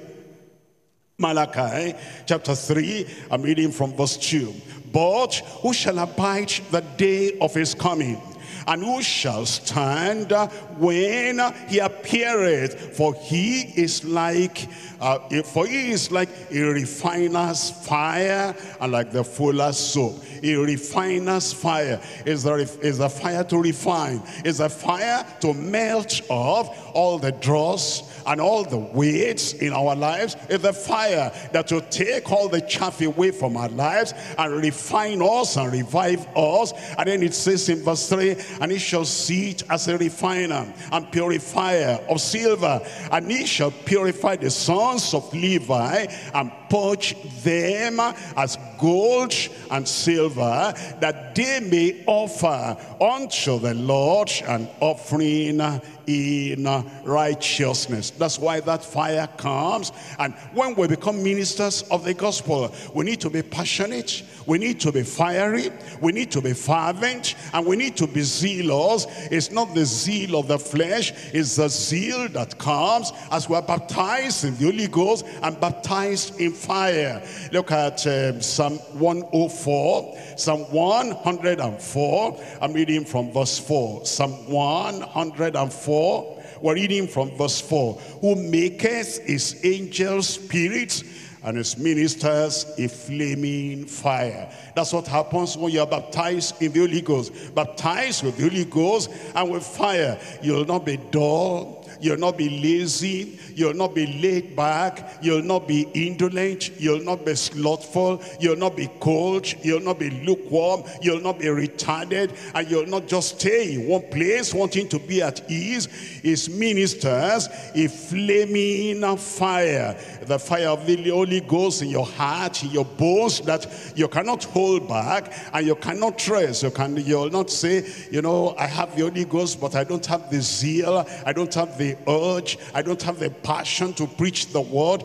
Jeremiah chapter 20, I'm reading from verse 9. Jeremiah chapter 20, and we're reading from verse 9. It says in verse 9, Then said I said, I will not make mention of him, nor speak anymore in his name, but his word was in my heart as a burning fire. His word was in my heart as a burning fire. When you're filled with the Holy Ghost, when you're baptized with the Holy Ghost and with fire, the word of God in you will be burning and it is shut up within you. A burning fire shut up in my bones and I was weary with forbearing and I could not stay. I could not hold back. I could not hold on. Fervency came, the power came. It will be like the words of Jesus Christ when Jesus spoke to the people and they said, we felt it. We felt the flame. We felt the fire. We felt the passion. And we felt the burning within us. Luke chapter 24. Luke chapter 24. I'm reading from verse 25. Luke chapter 24. Reading from verse 25. Then he said unto them, O fools, and slow of heart to believe all that the prophets have spoken. Ought not Christ to have suffered these things and to enter into his glory and beginning at Moses? And all the prophets he expounded unto them in all the scriptures the things concerning himself. And then look at their testimony of the words of Christ, the impact of the words of Christ in them. Look at verse 32. And he said one to another, Did not our heart burn within us while he talked with us in the way and while he opened to us the scriptures.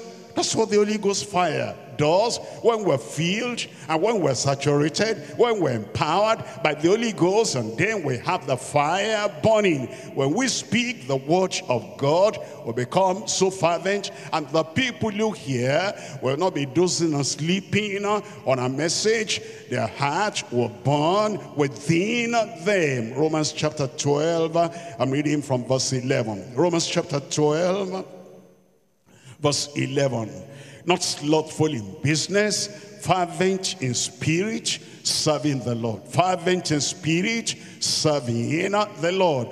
That we're ministers of the New Testament too, as we're baptized in the Holy Ghost and fire, we become a flame of fire too.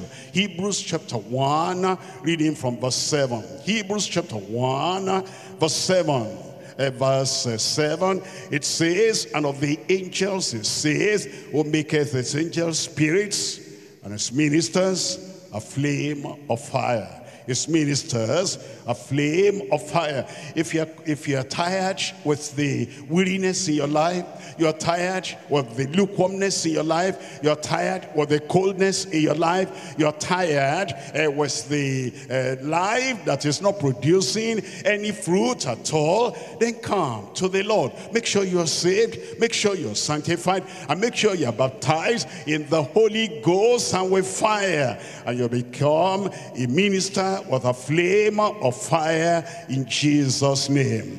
We're coming back to Mark chapter 1. Point number 3 now.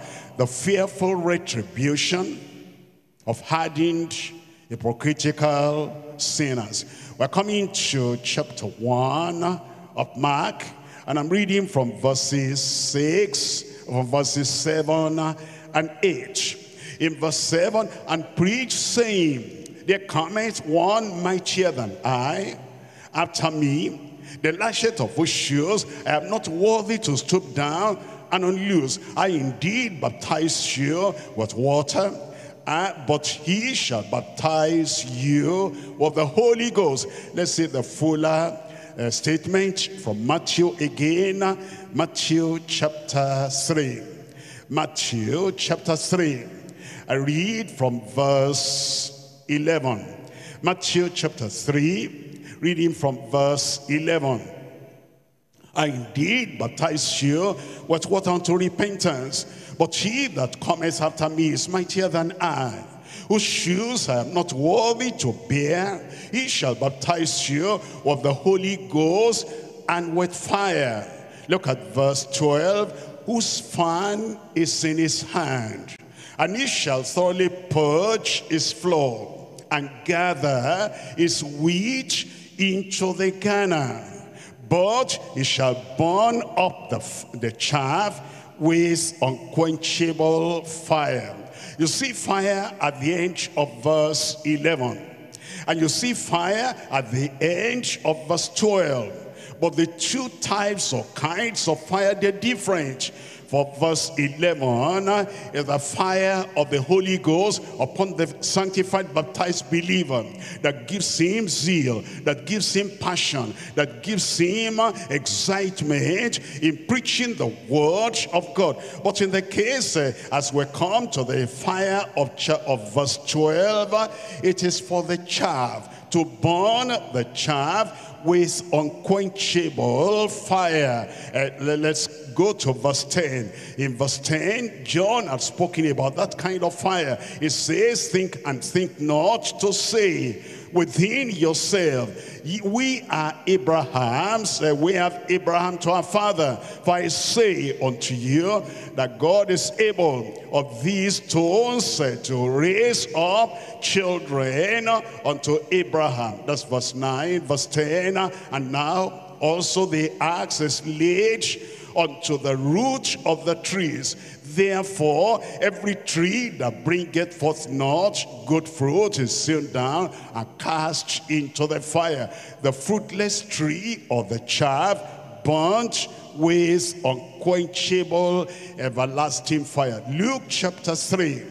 In Luke chapter 3, reading from verse 16. Luke chapter 3, verse 16. John answered, saying unto them all, I indeed baptize you with water, but one mightier than I cometh, the latchet of whose shoes I am not worthy to unloose. He shall baptize you with the Holy Ghost and with fire. That fire is from the Holy Ghost. That fire is to purify. That fire is to refine.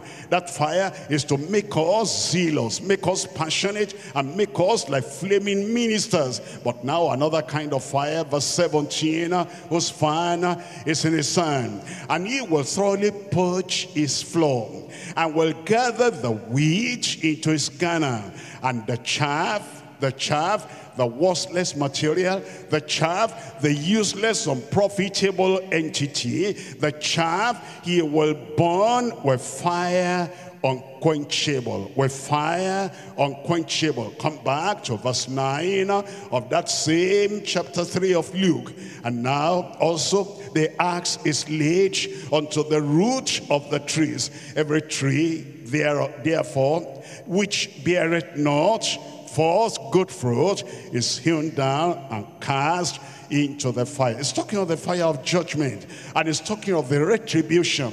It's talking of the recompense. It's talking of the fearful punishment of sinners in the final day. But why? Why? What have they done? What have they done? These are people who have neglected the Holy Spirit. These are people who have neglected the warnings of the Spirit and the drawings of the Spirit. And they remained adamant in their sins and they remain rebellious and rejecting the word, bringing them to repentance by the preaching of the Holy Ghost. Because of that, it says they'll be cast off and they'll be like chaff, they'll be burnt with fire. Look at Isaiah chapter 63.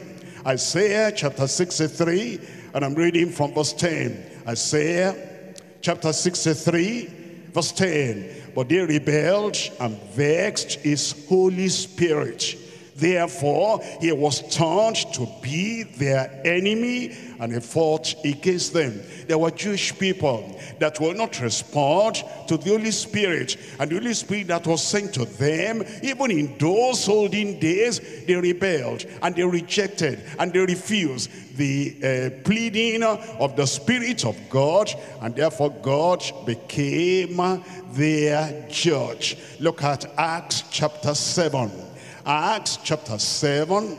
I'm reading from verse 51. Acts chapter 7, reading from verse 51. It says, uh, Ye stiff-necked and uncircumcised in heart and ears, ye do always resist the Holy Ghost. As your fathers did, so do ye. You see, these were Jewish people, and as the Lord sent out his ministers and his preachers, the apostles, and they preached in the power of the Holy Ghost, they refused them. They were not just refusing the apostles, they were refusing the Holy Ghost, uh, in whose power they were preaching. They were not just uh, refusing the preachers of that, uh, of the New Testament uh, message, they were refusing the Holy Ghost. And here it says, they did like their fathers, always resisting the Holy Ghost. Which of the prophets have not your fathers persecuted? And they have slain them which showed before of the coming of the just one,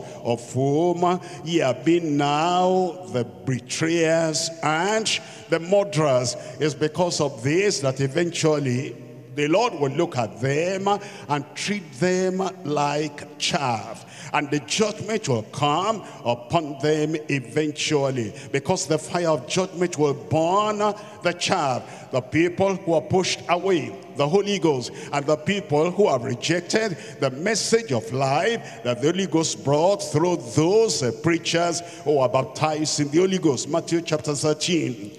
Matthew chapter 13, we're reading here from verse 40.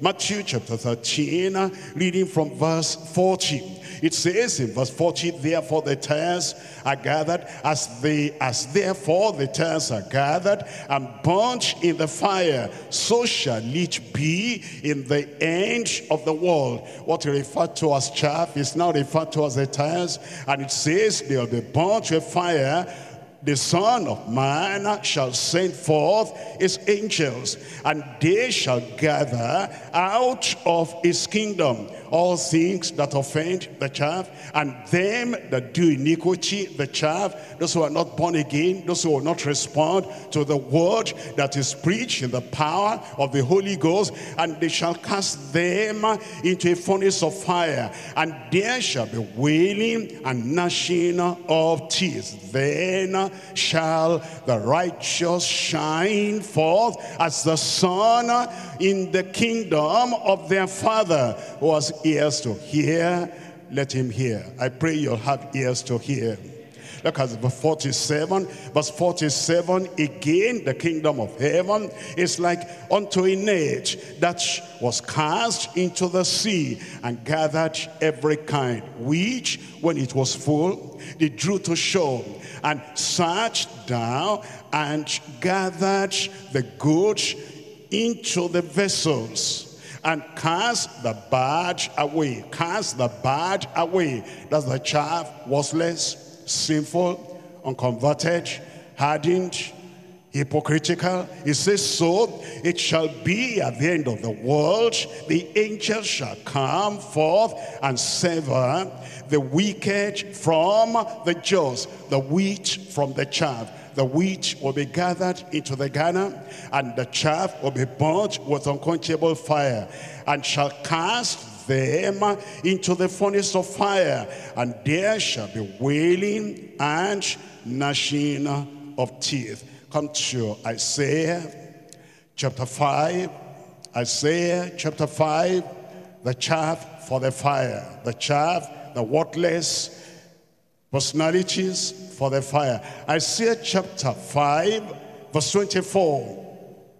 It says in verse 24, Therefore, as the fire devours the stubble, and the flame consumes the chaff, so their root shall be as rottenness, and their blossom shall go up as dust, because they have cast away the law of the Lord of hosts and despised the word of the Holy One of Israel. Those are the people referred to as chaff. They cast away the law of the Lord and they despise the word of the Holy One of Israel. You see the consequence on them? Look at verse 14. Verse 14, therefore, hell has enlarged herself and opened her mouth without measure and their glory and their multitude and their pomp and he that rejoices shall descend unto it. Isaiah chapter 11, the chaff for the fire, the worthless chaff for the fire. In Isaiah chapter 11, chapter 30, chapter 33, Isaiah chapter 33, I'm reading from verse 11. And it shall come to pass in that day that the Lord shall set his hand against the, again the second time to recover the remnant of his people, which shall be left from Assyria and from Egypt and from Pathros and from Cush and from Elam and from Shinar and from Hamath and from the islands of, uh, of the sea. Sorry, I'm reading chapter 11. That looks like an extra. Look, look at chapter 33. Chapter 33, Isaiah chapter 33, verse 11. He shall conceive child and shall bring forth stubble and your breast as fire shall devour you. It's talking about the unbelievers. It's talking about the unrepentant. It's talking about the unprofitable in the kingdom. It's talking about the chaff. And it says they'll be burnt with fire. Look at verse 12. The people shall be as bunnies of lime. And as stars cut up shall they be burnt in the fire here. Ye that are far off, what I have done, and ye that are near, uh, that are near, acknowledge my might. Verse 14, the sinners in Zion are afraid. The sinners in Zion, they have no reason to be sinful because they're in Zion. But they were in Zion, they were not hearing the word of God. They were not obeying the word of God. The sinners in Zion, the unconverted in Zion, the unrighteous in Zion, afraid. Fearfulness has surprised the hypocrites who, shall, who among us shall dwell with the devouring fire. Who shall, who among us shall dwell with the everlasting burnings? I pray you'll not be like that in Jesus' name. But that means we should respond to the Holy Ghost in Ephesians chapter 4. Ephesians chapter 4. I'm reading from verse 30. Ephesians chapter 4. And we're reading from verse 30. Ephesians chapter 4 verse 30. It says, and grieve not the Holy Spirit of God. It's calling you and is appealing to you, is pleading with you, turn and repent and come to Christ. This is the day of salvation. Receive his word and grieve not the Holy Spirit, whereby ye are sealed to the day of redemption. Let all bitterness and wrath and anger and clamor and evil speaking be put away from you with all malice. You will not resist the Holy Ghost. Hebrews chapter 3. I'm reading from verse 7. Hebrews chapter 3. We're reading from verse 7. It says in verse 7, Wherefore, as the Holy Ghost says today, if ye will hear his voice, harden not your hearts, as in the provocation, in the day of temptation, in the wilderness. Verse 12, take heed, brethren, lest there be in any of you an evil heart of unbelief in departing from the living God. You will not depart from the living God, but exhort one another daily while it is called today, lest any of you be hardened through the deceitfulness of sin. For we are made partakers of Christ if we hold the beginning of our confidence fast to the very end. Today, the Holy Ghost is available for us. Those who are not saved, the Holy Ghost will assist you. The Holy Ghost will move you. The Holy Ghost will lead you. And you'll become born again in Jesus' name. You'll be born again in Jesus' name.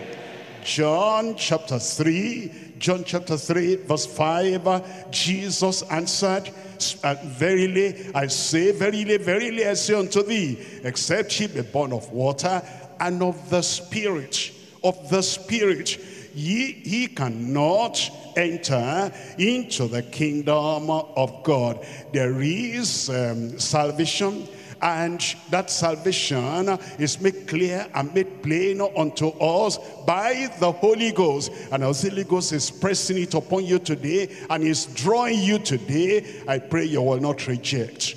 I pray you will not reject. And then in First Peter chapter 1 verse 2. First Peter chapter 1 verse 2. Elect according to the foreknowledge of God the Father, through the sanctification of the Spirit, sanctification of the Spirit unto obedience and sprinkling of the blood of Jesus Christ, grace unto you. And peace be multiplied. The salvation and the Holy Ghost ministers that to us and there is sanctification. The Holy Ghost ministers that to us and thank God there is the Holy Ghost baptism and the Holy Ghost will overshadow you empower you and strengthen you and baptize you in Jesus name Acts chapter 2, verse 38, then Peter said unto them, Repent and be baptized, every one of you, in the name of Jesus, for the remission of sins, and ye shall receive the gift of the Holy Ghost. And ye shall receive the gift of the Holy Ghost. Are you there? I said, are you there? Ye shall receive the gift of the Holy Ghost. For the promise is unto you, and to your children, and to all that are far off, even as many as the Lord our God shall call. He's available for salvation is available, for sanctification is available, and for empowerment, for strengthening is available. And whosoever shall call on the name of the Lord shall be saved. And this is the day of receiving blessings from the Lord, the blessings of his grace, and the blessings of his goodness, and the blessings of his gift. And everyone that will call, you receive. You'll not go back home empty-handed in Jesus' name. You will not resist the Spirit. You will not reject the Spirit. You will not pull back uh, from the pleading of the Spirit. But everything the Spirit of God has for you, for me, for us, He'll bestow upon every one of us in Jesus' name.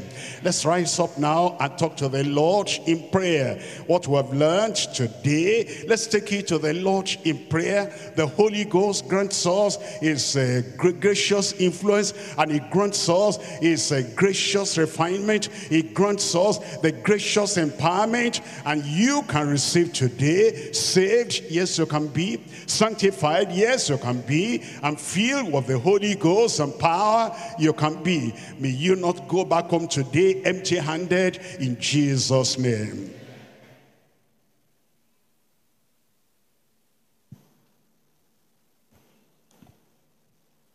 Let's pray tonight. The gift is yours. Pray tonight. What privilege.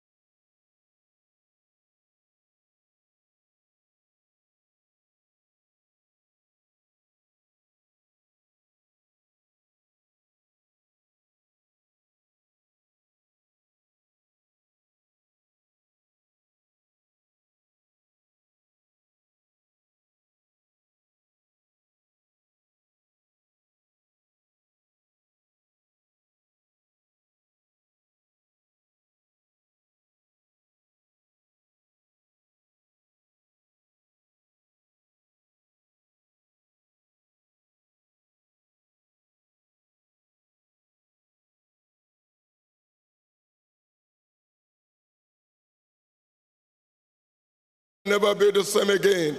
That your life will be a changed life from tonight. That's the work of the Holy Spirit. He can save you tonight. He can save you tonight. He can save you tonight. Don't depart from God tonight the same way as you came, full of sin, completely dirtied and muddied by the world. Don't live here tonight that same way. That's why you came to this night Bible study, that your life will be different. If any man be in Christ, he becomes a new creature. All things pass away completely, and tonight all things become new. You can come to the Lord tonight, and you will make a difference in your lives. And if you are born again, why are you standing at that level? The Holy Spirit ministers sanctification to you. Are you sanctified? The glorious experience of cleanness of heart, the glorious experience of purity of heart, the glorious experience of perfection of life. That your life is just true and true transparent. Are you sanctified? You have been born again for one year. Are you sanctified? You have been born again for two years. Are you sanctified? Here is the Holy Spirit ministering sanctification tonight. You receive it willingly tonight. You receive it wholly tonight. The Spirit is near you. Oh, is near you. Is touching your heart, convicting you even now. Don't turn away from me. Don't say it is not necessary. Oh, without holiness, no man shall see the Lord. You want to see God at the end, you need holiness of life. And the Holy Spirit has presented it to you tonight. Don't turn away from me. Don't turn away from me. Don't turn away from it. That's what you need. That your life will become truly the life that God wants it to be. That your life will become the life that will please God. The life that will please God. The life that will stand and challenge men. That's, that's the presentation the Holy Spirit is bringing to you on a platter of gold tonight. accept him, accept his offer, that your heart might be cleansed, that your life might be purified, that your motive, your intention, your dispositions, your attitude, everything will just become turi, holy, clean. You need to come to the Lord tonight. You need to yield to the Lord tonight. You need to just submit yourself to the Lord tonight. That you, you need the power from on high. And here you are. And here you are. You are born again. Here you are. You're sanctified. Here you are. But there is no power. But there is no, you haven't got the Holy Ghost baptism. Your chance can come tonight. Your chance can come tonight. Are you thirsty? Come to that river of flowing water tonight and drink. Let him that thirst come. The Spirit and the bride say, Come. You come this very, very moment because the, on that day, that, that day of the feast, Jesus stood and said, Everyone that is athirst, come.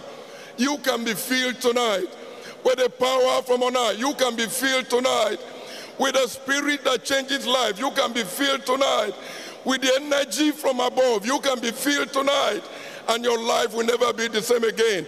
And your life will never be the same again. Your word, the word of God in your mouth become powerful. Oh, your prayer, your prayer become power packed. And, and that your preaching, your preaching become pungent and powerful. You can be a different man, a different woman tonight. You can be a different person tonight. Open your mouth wide and let him fill it. Open your heart all and let him fill you. Bring yourself unto him tonight. You desire to be filled tonight because it's here for you.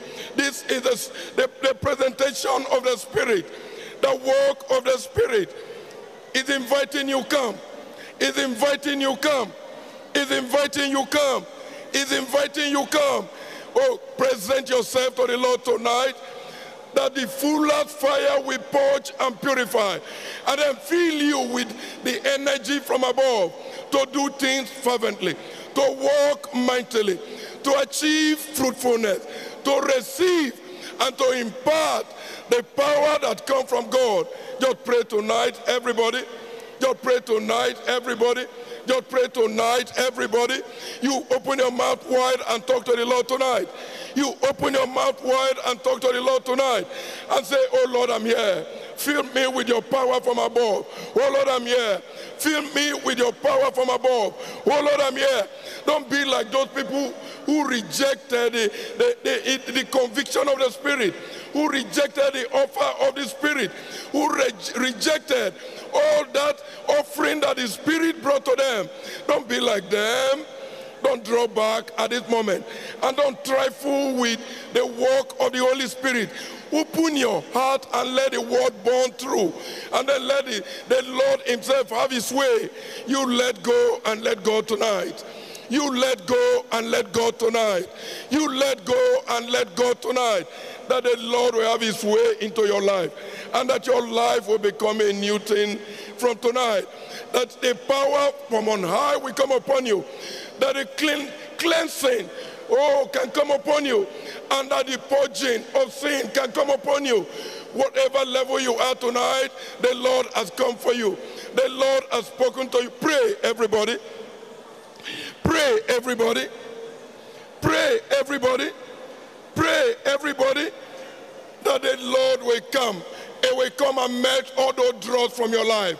He will come and refine all those lethargy from your life. He will come and burn off all those coldness and lukewarmness from your life. Open your heart tonight.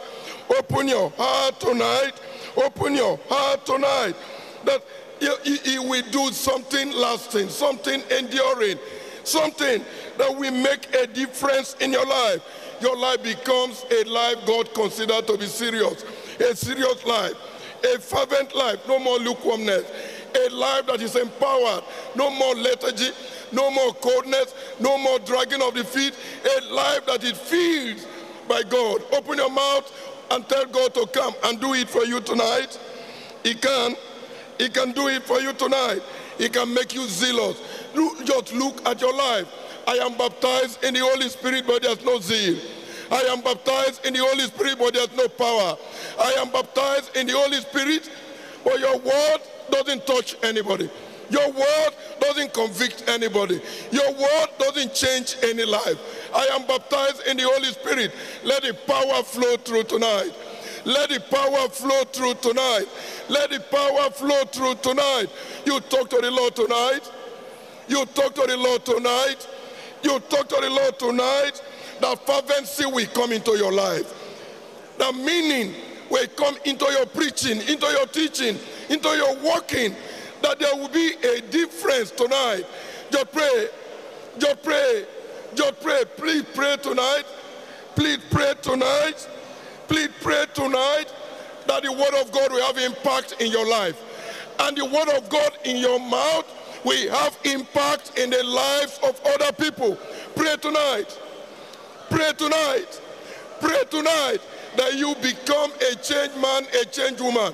And then you become a change agent from tonight. Just pray. Just pray. The power from on high is here for you. It's here for you. It's here for you. Everybody. Everybody. Everybody. Everybody. Everybody. You can be a flame of fire tonight. Oh, don't you desire that? You can be a flame of fire from tonight. He maketh his angel spirits and his ministers a flame of fire. You can become a flame of fire from tonight. Just pray. Just pray. Just pray. No more tiredness. Just pray. Just pray. Just pray. No more dullness. Just pray. Just pray. Just pray. No more fruitlessness. Just pray. Just pray. Just pray. He makes you a flame of fire tonight. He makes you a flame of fire tonight. He makes you a flame of fire tonight. Just let go and let God have his way in your life tonight. Just let go and let God have his way in your life tonight. And your life can become a testimony. And your life can become a blessing. Just pray everybody tonight. Just pray everybody tonight that the Lord will touch you. That the Lord will touch you. Let the paraclete from heaven descend upon you tonight. And let the fire, the coal of fire from the altar, let it come and come upon you tonight. Just open your heart wide. Just open your heart wide. Just open your heart wide. That all this, all this cajoling before you walk, that all this, all this counseling before you walk, that all this, all these things that you need to be to be tapped, to be papered, to be assisted, it will become a thing of the past. You serve God fervently. You serve God fervently. You serve God gloriously. You serve God fully. You serve God wholly. You serve God with a power that He Himself gives. You bear fruit. Your fruit remains. You become a new man. You become a new woman, a new preacher, a new minister, a new worker, a new child of God. That's what God is calling upon you tonight. That's what is God is calling upon you tonight. That's what God is calling upon you tonight to, to receive, to become, to have. Pray, everybody, that the boldness of the Spirit will come upon you. As the Spirit comes, it comes with boldness. As the Spirit comes, it guides you. As the Spirit comes, it comforts you. As the Spirit comes, He teaches you. As the Spirit comes, He just begins to preserve the Word of God in your life. I hear, I forget, but I'm baptized in the Holy Spirit. He can be a thing of the past tonight. I hear, I can't understand, but I'm baptized in the Spirit. He can be a thing of the past tonight. That the Word can come and burn in your heart tonight. Everybody pray. Everybody pray. Everybody pray that courage will come upon you. You don't fear all those lizards. You don't fear all those wild geckos. You don't fear all those mosquitoes. You don't fear all those little girls. You don't fear all those old men. You don't fear all those old women. You have courage and you have boldness to stand and declare the word of God because the Spirit is come upon you with the power from on high. Pray tonight. Pray tonight. Pray tonight. Pray tonight. And your prayer can become powerful. The gift of the Spirit can come upon you tonight. Oh, there is so, so much, so much, so much, so much that you can have tonight. So much, so much, so much that you can be tonight. Just pray. Just pray. Just pray.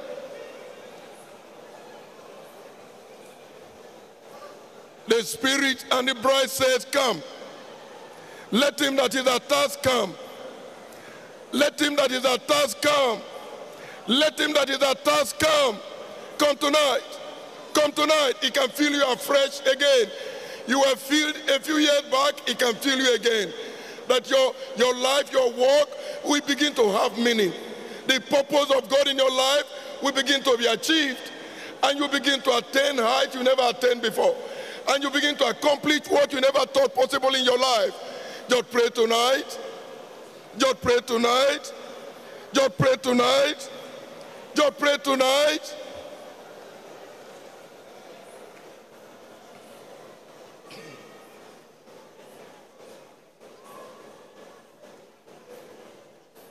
Don't reject the invitation of the Spirit tonight. Don't reject the invitation of the Spirit tonight. Don't reject the invitation of the Spirit tonight. Those who reject will, will be burnt as chaff in unquenchable fire. You don't want to go that way. You don't want to go that way. You know so much already. You don't want to go that. You don't want to receive so many stripes at the end of life. Those that know all these things, and then they continue as if they don't know. At the end, many stripes will be laid on their backs. You don't want to go that way. You don't want to pass that road. Come to the Lord tonight. Come to the Lord tonight. He loves you. He cares for you. Cast the burden of your life tonight that, oh Lord, I want to be like Jesus. Oh Lord, I want to achieve things that you have promised and purposed for me to achieve. Cast that burden to him tonight. Talk to him tonight. And the Lord will answer you. He will answer you. He will answer you. And judgment will be for those who don't know the Lord, not for you who had attended Bible study, who had heard words unheard by people. Just pray tonight. Don't spawn the bidding of the Spirit of God. Don't spawn the bidding of the Spirit of God. Don't spawn the bidding of the Spirit of God.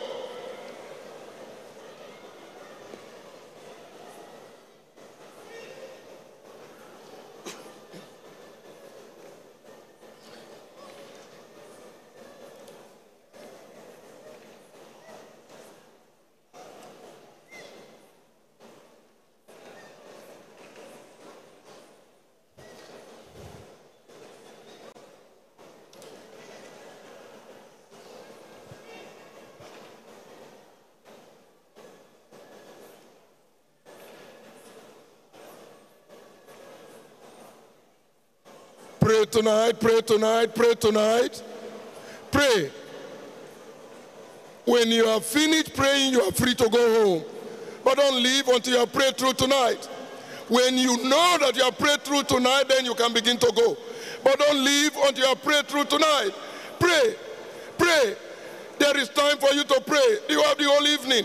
You have the whole night. Pray tonight. The heavens can be opened unto you tonight. Don't be in a hurry to go home.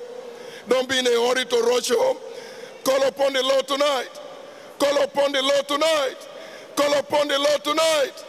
That tonight will be your night of, of, of, of encounter. Tonight will be your night. The night of receiving from heaven. That tonight will be your night. The night of the touch of God. Just pray.